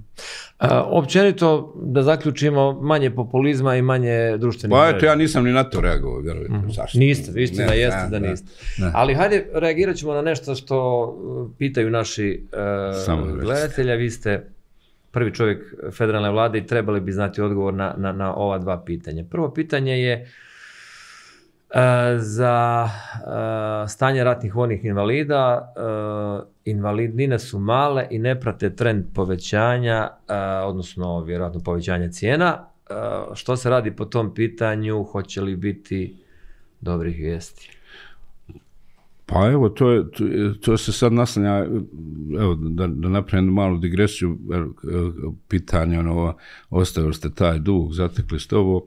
E, mi smo, mi smo uh, u prvom mandatu kao vlada zatekli ogroman dug prema boračkim populacijama i taj dug potpuno izmirili i to je vrlo jasno u primopredaji bilo između mene i gospodina Novača potpisano da smo predali bez jedne jedne konvertibilne marke duga prema porodicama poginuli invalidima, ratnim vojnim invalidima, nosiocima priznanja, čak smo i nosiocima priznanja ovaj, uspjeli, uspjeli zakonski riješiti i, i zaštiti taj neki dodatak. Naravno da je to kategorija ljudi prema kojima moramo imati poseban odnos uh, i u skladu sa zakonom se ponašati. O, imaju vrlo kvalitetnog ministra, Uh, nešto slično kao što je gospodin Kraljević uh, bio ministar, ministar fin, financija, pa, tako, tako je uh, i, i ministar Lokvić bio ministar u, u e, vladi Zemljskog dobojskog kantona za, za borašku populaciju, bio je uh, učesnik rata, bio ovaj, oficir i siguran sam da ima poseban odnos prema tim kategorijama, prema tim ljudima i, i sve ono što je moguće da napravimo u ovom sad periodu, mislim da je, da je najavljeno ovo usklađivanje što, što, što ide, a onda ovaj, dalje da vidimo šta ćemo zakonski moći regulisati i riješiti te kategorije. A, također dobili smo pitanje e, za pacijente e, koji imaju specifična oboljenja, e, to je spinalna atrofija mišića, ako se ne varam, ali i druge rijetke bolesti. Oni imaju veliki problem, e, vlada bi trebala izdvojiti zapravo novac koji već godinama nemaju. Oni su trenutno na takozvanom milosrdnom liječenju, ali to koliko vidim za 24 dana ističe. 20.000 maraka, ako se ne varam, ako, ako su marke u pitanju, ako nisu euri, mm. je, je mjesečno, ovaj, hoće li se i može li se tim ljudima pomoći? A vidite, to je jednostavno Fond pita, solidarnosti pitanje, u pitanju. pitanje koje, koje sigurno optrećuje svaku vlast, pa i nas. Uh, činjenica je da mi imamo jako isparčan taj uh, zdravstveni sektor. Imamo potpuno nerealnu situaciju da, da kantonalni zavodi su u suficitu i oročavaju novce u bankama, fond solidarnosti, federalni a, fond je u, u, u, u- u minusu i, i ostvaruje gubitak, ali svi traže od federalnog fonda. Kad smo pokušali samo malo da napravimo rampa kamo dajete, pak su pacijenti iz kantona, dajte da zajedno podijelimo ovaj teret, niko, niko ne želi u tome da učestvuje, ali uredno te ljude. Naravno da, da, da se osjećamo sa svim tim kategorijama, sa svim ljudima. A, mi smo napravili a, u, startu neko pokazalo da smo spremni, pa smo radili s tim i onda se pojave sva, bukvalno sva udruženja, kad vide da, da ste vi spremni da razgovarate, da radite, onda svi dođu u traje. I pristup je otprilike ovakav. 20 godina to nije riješeno, mi od vas očekujemo da to odmah riješite. Dakle, nije realno da se to odmah riješi. Mi smo ove godine a, sredstva u Fondu solidarnosti povećali na 50 miliona konvertibilnih maraka. A, naravno da, da, da ćemo pratiti i, i tu kategoriju. Ja ne, ne mogu sad reći je li oni spadaju u ove kategorije koje, koje prati Fond solidarnosti i šta je, ili Mislim to, da ili je to nadležnosti, ali čim je pitanje, pretpostavljam da jeste. Dakle, uh, Zavod zdravstvenog osiguranja, Federalni zavod zdravstvenog osiguranja pratit će te kategorije, vidjet šta se dešava i naravno intervenisati u skladu uh, sa potrebama. Uh, mi ćemo kao vlada i dalje biti e, otvoreni za, za, za, za svaki oblik, svaki vid saradnje e, i ovo povećanje koje smo napravili u ovom fondu pokazuje da, da smo zaista razumjeli koji su to problemi bili u prethodnom u prethodnom periodu i da je nije potrebno da svako od tih udruženja dolazi pred vladu, nego smo pokušali da napravimo ovaj sistem, da povećamo sredstva u fondu solidarnosti kako bi mogli uh, to rješavati u Zavodu zdravstvenog osiguranja. Ponavljam, ukoliko dođe do problema, ne sumnjam da će se uključiti resorno ministarstvo i vlada, ali u ovom trenutku adresa je Zavod zdravstvenog osiguranja. Ma, 22 dana zapravo još imaju, to je vijest od prije dva dana. Mm, Ja bih volio kada bi se to riješilo jer Naravno. vidim da su ljudi u, u, velikim, u velikim problemima. Polako ćemo završavati. Ajmo još malo na Bosnu i Hercegovinu. E, agresija, odbrana, još uvijek su te, to teme koje se provlače i koje, ne mogu reći da koče, o tome se naravno može uvijek pričati, ali nekako su previše u prvom planu. E, Evo i mm, gradonačelnica Sarajeva je sada objašnjavala gospodinu Šarčeviću da on ne bi pisao to što piše i živio u Sarajevu, da nije bilo armije Bosne i Hercegovine. Ali ja sam pogledao jednom slučajno na internetsku stranicu, mislim, Ministarstva e, branitelja federacije, odnosno već kako se zove, i onda mi je stajalo uh, Armija Bosne i Hercegovine, Hrvatsko vijeće obrane, MUP Bosne i Hercegovine, MUP, HRHB. To su zapravo branitelji... Komponente oružanih komponent- snaga Bosne i Hercegovine. Pa je li vrijeme da, da eto, bar pogledamo to, znači, bez obzira na perspektivu ljudi, jer pucali su jedni na druge, jednom smo podvukli crtu i rekli smo, svi su oni braniteljske populacije, pa je li to... Mislim, šta ja znam, ja, ja smatram da I, i činjenica je, slažem se potpuno s vama da uh, i kad počnete pričat, jako puno je ljudi koji su još žive, koji još čini se zapeli u tom periodu 92. 95. Dakle, davno je to bilo. Uh, čak i oni koji su živi i aktivni akteri uh, sad već potpuno drugačije gledaju, potpuno drugo, drugačije prepričavaju ono što se dešavalo i kako se, kako se dešavalo. Ja smatram da je vrijeme e, davno bilo da se suočimo s istinom i to sam stalno pokušavao da, da, da u komunikaciji sa ljudima iz Republike Srpske. E, u jednom trenutku znam da je bio uspostavljen ovaj e,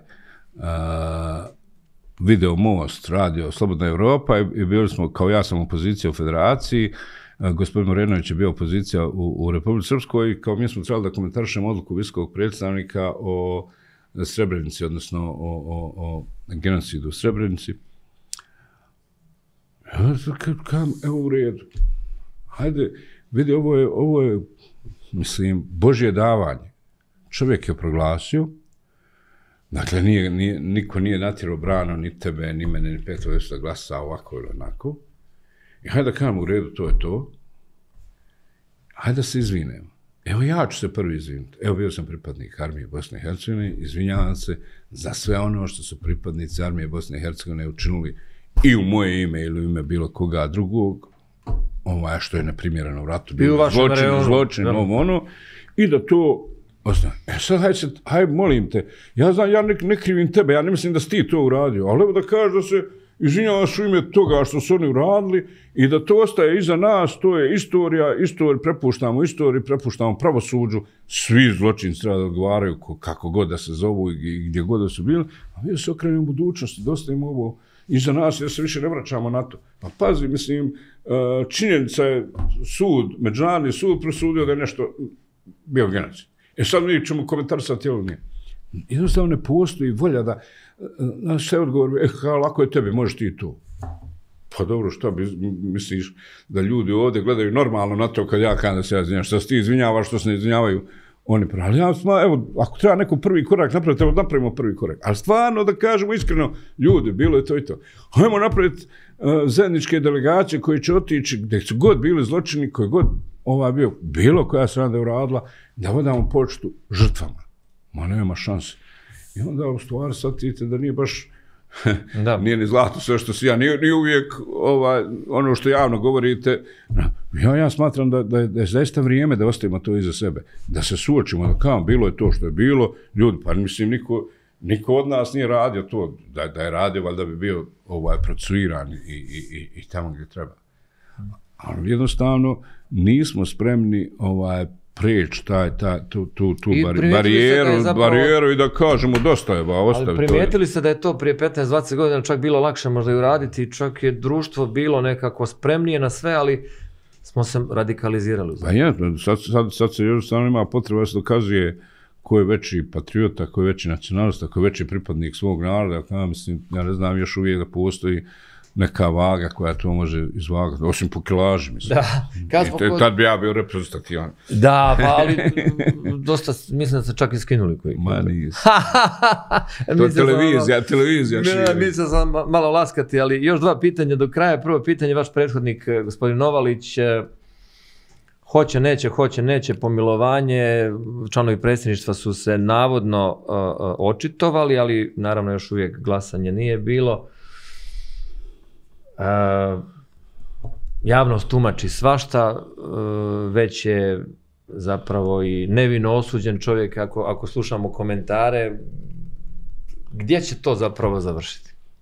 Pa ne znam gdje će završiti, ja evo, to sam imao priliku da komentarišem, ja stvarno se uzdržavam od tih komentara, znate, to, to je neki pred, moj prethodnik da ne ispadne tu sad nekakvo ovaj, na tim, na tim likovanju, Bože sačuva i potpuno mislim, koliko mogu razumijem. Ne mislim da ikom je ugodno da, da, da, da bude ograničeno kretanje i, i, i u kući, a ne, a ne ovaj, tako. Uh, pomilovanje je institut koji postoji u, u, u našem pravosuđu, u našem zakonu i to je stvari, ne pada mi na pamet da, da dolazim u, u taj prostor, govorim kako će član predsjedništva uh, oko toga glasati, hoće li glasati uopšte ili, ili kako će se prenati. Ali je to, dokle, regularan institut koji postoji ovaj, u, u, u našem sistemu i potpuno je regularna molba koju, koju ako je uopšte, mislim sad više jednostavno kontradiktorne su informacije iz Dosta medija, toga jedne, jedne, jedne, jedne kažu tako. jeste, mm-hmm. podnio, drugi ka nije, ima molba, formirana komisija, nije, dakle, jednostavno u to neću, neću da ulazim i ne želim, ovaj, da, dakle, to je potpuno regularan institut i u skladu s tim treba da se ponašaju oni na koje se to odnosi. Od Ministarstva pravosuđa koje treba da formira komisiju, ako je podnesena molba, koja treba da, da, da formira stav mišljenja, koje posjeđuje ministarstvo, ministarstvo predsjedništvo i predsjedništvo socijalno. Hoće li to zapravo biti politika na kraju? Ma ja mislim da je u konačnici sve politika ovdje. Mm. Čak, čak i, i, i u ovom dijelu. Ja, ja stvarno, kad, kad sam bio, uh, evo, hajde, pitanje, pitanje uh, sjedišta apelacijonog suda. Mm -hmm. Dakle, ja vrlo sam kad bih da, i da mi živimo u, je sad opet ružna, u normalnoj zemlji, ja pokušavam da, da, da živimo u uređenoj zemlji u kojoj uh, pravosudni sistem funkcioniše na način da sudije i tužioci sude na osnovu i tuže na osnovu ustava i zakona, pa bilo bi sasvim svejedno gdje sjedište apelacijalno. Međutim, Ali, sve je politika ali, i sve. Znamo, znamo, znamo Kad smo već kod politike, to, južna interkonekcija, gospodina Čovića, to nisam pitao, to, to iskreno priznajem, uh, u tom trenutku mi nije izgledalo kao tako veliko pitanje, ali se umeđu vremenu ovaj, pretvorilo u to. Gospodin Raguš, koji je bio također naš gost, je rekao da bi prije samog, e, same konačne odluke trebalo malo protresti kako je BH Gaz do sada funkcionirao i koliko milijuna je izgubljeno, uključujući i ona, one penale Mađarima, ako se ne varam, na onaj izgrađeni, ali nekorišteni uh, cjevovod, odnosno plinovod. Vi ste neki dan ponudili jedno rješenje, e, govorite da gospodin Čović ne odustaje od onoga što je naumio, ali da vi imate kompromis. Pa, mislim, nemam kompromis, mi nudimo ovaj kompromis, cijelo vrijeme pokušamo da a, na tu temu, dakle, imali smo mi pritisak i da a, donesemo zakon a, i, i kroz vladu i kroz parlament bez HDZ-a, što mene pada na pamet da a, na, narušavamo ovu atmosferu koju imamo unutar vlade, razgovaramo na to i to je sad, evo i sami ste to rekli, u ovom trenutku prevashodno političko pitanje. Političko pitanje s aspekta organizacije, da li će biti organizovana nova kompanija, što mi smatramo da je potpuno bespotrebno, da BH Gas kao jedna kompanija krovna treba da, da, da upravlja tim, jer se onda gubi, gubi se svrha novog novog uh, gasovoda, jer onda šta, imate dvije kompanije koje snadjevaju tržište ovaj, uh, i da ovaj, naravno u, u toj varijanti smo spremni da, da rekonstruišemo upravni i nadzorni odbor BH Gasa, upravu BH Gasa, da, da imamo podružnicu u Mostaru koja bi se a, bavila time i time bi ovaj, zaokružili taj proces. Naravno, u ovom trenutku politički stav HDZ je drugačije, oni smatraju da treba da bude a, posebna kompanija u Mostaru. Činjenica je također da imamo vrlo jasno iskazan stav da je to nacionalni interes State Departmenta. Dakle, dok, dok smo pričali ovdje s ambasadorom, mogli smo svi imati nekakve mm. rezerve, ali to tako nije, ali kad se međunarodni sekretar Blinken objavi, uh, kad se sekretar State Department obja, obrati ministrima vanjskih poslova Republike Hrvatske i, i, i Bosne i Hercegovine, onda to postoje jasno da je interes uh, neki viši. Znamo da je to interes bar i onoj komunikaciji koju sam ja imao sa gospodinom Plenkovićem i i što mi govore da, da, da je to interes Republike Hrvatske. Smatram da uh, trebamo to što je moguće prije prevazići. Naravno, i kad prevaziđemo to i da sve ovo riješimo, nećemo sutra imati. Pa da, to je, taj to je gasovod, mene, taj gasovod, mene i odbilo od tog ali, pitanja. Ovaj, jer... ali, ali, ali ćemo imati onda riješenje neke stvari pokrenuti to pitanje. Znači, razgovor, razgovor, razgovor. A, ali misliš, šta je alternativa?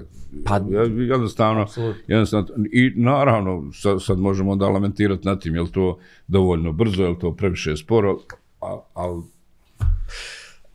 Rekli ste da se pomalo, pomalo sumarate politike, imate unuke, želite miran život, ali vjerujem da ćete nastaviti navijeti za Velež, jer to vam je... Pa naravno, to sam... Po... Ste... Pa, prije, sam, prije sam počeo navijati e, za Velež nego što sam postao SDP-ovac kad, kad, kad govorimo, znate. I, I naravno, misli, to je, ovo je sredina i, i, i oko toga podeljaka sam svega. Za Velež se nije navijalo došto to Velež nešto osvajao titule. Ja znam i u ulici kad bi se skupi pa igramo, uglavnom su raja navijela za Partizan i Zvijezdu. A mi smo ovako neko je navijao za Velež, neko za Hajdu. Zašto su navijali za Partizan i za Zvijezdu? Nemam pojma. Ali pazite, Konjic je bila specifična sredina gdje je puno ljudi došlo da rade u Igman. Uh -huh. a, iz tih krajeva Užica, Čačka i tako. I onda je vjerovatno i to, i to neki. Naravno, Partizan i Zvijezda su bili, bilo je dosta interesantno, nije, nije previše, ali bilo dosta raje koji navije za, i ja recimo, ovaj, a, nakon Veleža preferiram Hajduk, da, ovaj, jednostavno tako. Bilo je Dinamovaca? Nije, nije, nije mi drago što su skinuli petokraku, mislim, tražim, i sad, vrlo često sam u Splitu i kažem, kad, kad, kad sam snimao prijatelj, kad da, ba, ko, napravite taj adres, daj, dajte taj adres. I sad on meni nosi repliku adresa, prvi adres, a idu, no još to, hoće nas petokraku. ovaj, Dakle, i nema ga ni kod igrača. Razgovarao sam se Ivanom Gudiljom, sve jednostavno, ne, kažu, Dobro, ogro, ogroman je pritisak, traži se, ali ga nema i sad mm. pritišu da naprave neku repliku dresa. I tako, dakle, naravno, ovaj, prvi put me Dajđa Rahmetli doveo s četiri godine da, da, da, da gledam Veleža i to nekako tako uđe. Ja sam svog sina tako, ovaj, tako svog unuka. Vi ste zapravo i bili ste jako blizu Veležu i što se tiče uprave. blizu i... Veleža, uvijek sam ovaj, blizu Veleža. Ja na, ni na to ne gledam kao na politiku, vjerujte. Mm. Sasvim mi se jedno ko je ovaj, i, i, i, i uvijek sam i, i kao navijač još prvi put od, od, od predsjednika uh, Džubura Pa na ovamo, mislim se sa svakim predsjednikom imao neku sradnju, sa svakom upravom i što su tražili, što sam ja mogu, uvijek sam, uvijek sam vjeran splaganju pomagao. Jeste li gledali podcast sa gospodinom Čovićem? On je prilično gorljivo pričao o vremenima kada navijao za Veliš. Pričam on ja o tome, čak smo se zazali kad je bilo finale uh, Zrinski Village, kajem jedini ti ovdje imaš win-win. situaciju. Tako da... A kad, da, da, kad smo kod Zrinskog, kako gledate na Zrinski? Ja, ja, ja se zaista, pošto znam i te ljude, ovaj, tamo je zaista, zaista odajem priznanje, ovaj, pogotovo gospodine Šulenti, ovo što, što, je, što je, znam koliko je on povukao oko toga, kao imam komunikaciju s ljudima, ovaj, napravo su zaista, zaista nevjerovatan rezultat za ove prostore u ovim uslovima i ovo je to stvarno treba kapusniti. Da sutra zonu na utakmicu Zrinskog? Mora, on još išao i gledat velež, iz Zrinski velež. Ali dakle, kad igraju ne... Evropu, dakle, kad igraju Evropu, nagrao za sve klubove iz Bosne i Hercegovine, dakle, nema tu nikakve, nikakve... Da vas zovno iz Zrinskog, da gledate utakmicu Zrinskog protiv nekoga. Naravno da, pa ovo bez igra. Došli bi. Pa naravno. Skoristio svog, pa ne ovodem tako gdje god mogu. Sve su to naši klubovi. Da, pa to, dakle, kažem, to je Bosansko-Hercegovački klub, koji igra igra Evropu. Šta sad ja bi trebao da navijam za nekoga, ne znam, za, za, a za Alkmaar, mislim. Na šta pričam. Epski preokret, jel Ma tako? da, pa da. Je vam bilo drago? Pa jeste, pa naravno. Pa, pa mi svaki rezultat, svaki uspjeh koji napravi naš klub, Pazite, to je, mislim, ne znam kako da to objasnim, to, ja smatram da to svaki put jedna neka kvačica na, na, na, na, na postivu u Bosni i Hercegovini, da se to odnosi na cijelu Bosnu i Hercegovini. Pazite, šta zna onaj u Holandiji, ovaj, da, da, da sad mi ovdje u Mostaru imamo Zrinski velež, da jedna vije za velež, drugi Zrinski nešto, neko nekog mrzi. Njima neko, je sve to zapravo... On to iz Bosne i Hercegovine, Zrinski iz Mostara, Bosna i Hercegovina, šta? Hvala vam na ovom gostovanju, nadam se da vam je bilo ugodno. Meni jeste, oho, nadam se da, da se vas dovolje. Želim vam da 21. ne bude samo prvi pravi dan proljeća, nego da dobijete dobre vijesti, da dobijemo dobre vijesti iz Brisela i da vidimo onda što ćemo. I naravno želim vam da istrajete u tom naumu da razgovarate i da zapravo malo relaksirate ovu situaciju. Nisam se htio previše na neke mostarske teme, imat ćemo drugi puta priliku. E, nadam se zapravo da ćete i vi skupa zajedno s nama ući u nekakve mirnije političke vode, pa da se ono što se kaže malo i još više opustimo ovdje u Bosni i Hercegovini. Hvala, hvala, hvala na pozivu, zaista je bilo ugodno i naravno kad god budemo prilici odazvaći se. Dragi naši, gospodin Nermin Nikšić, e, slušali ste i gledali Bljesak live. Vidimo se vrlo brzo prvom zgodnom prilikom. Hvala lijepo.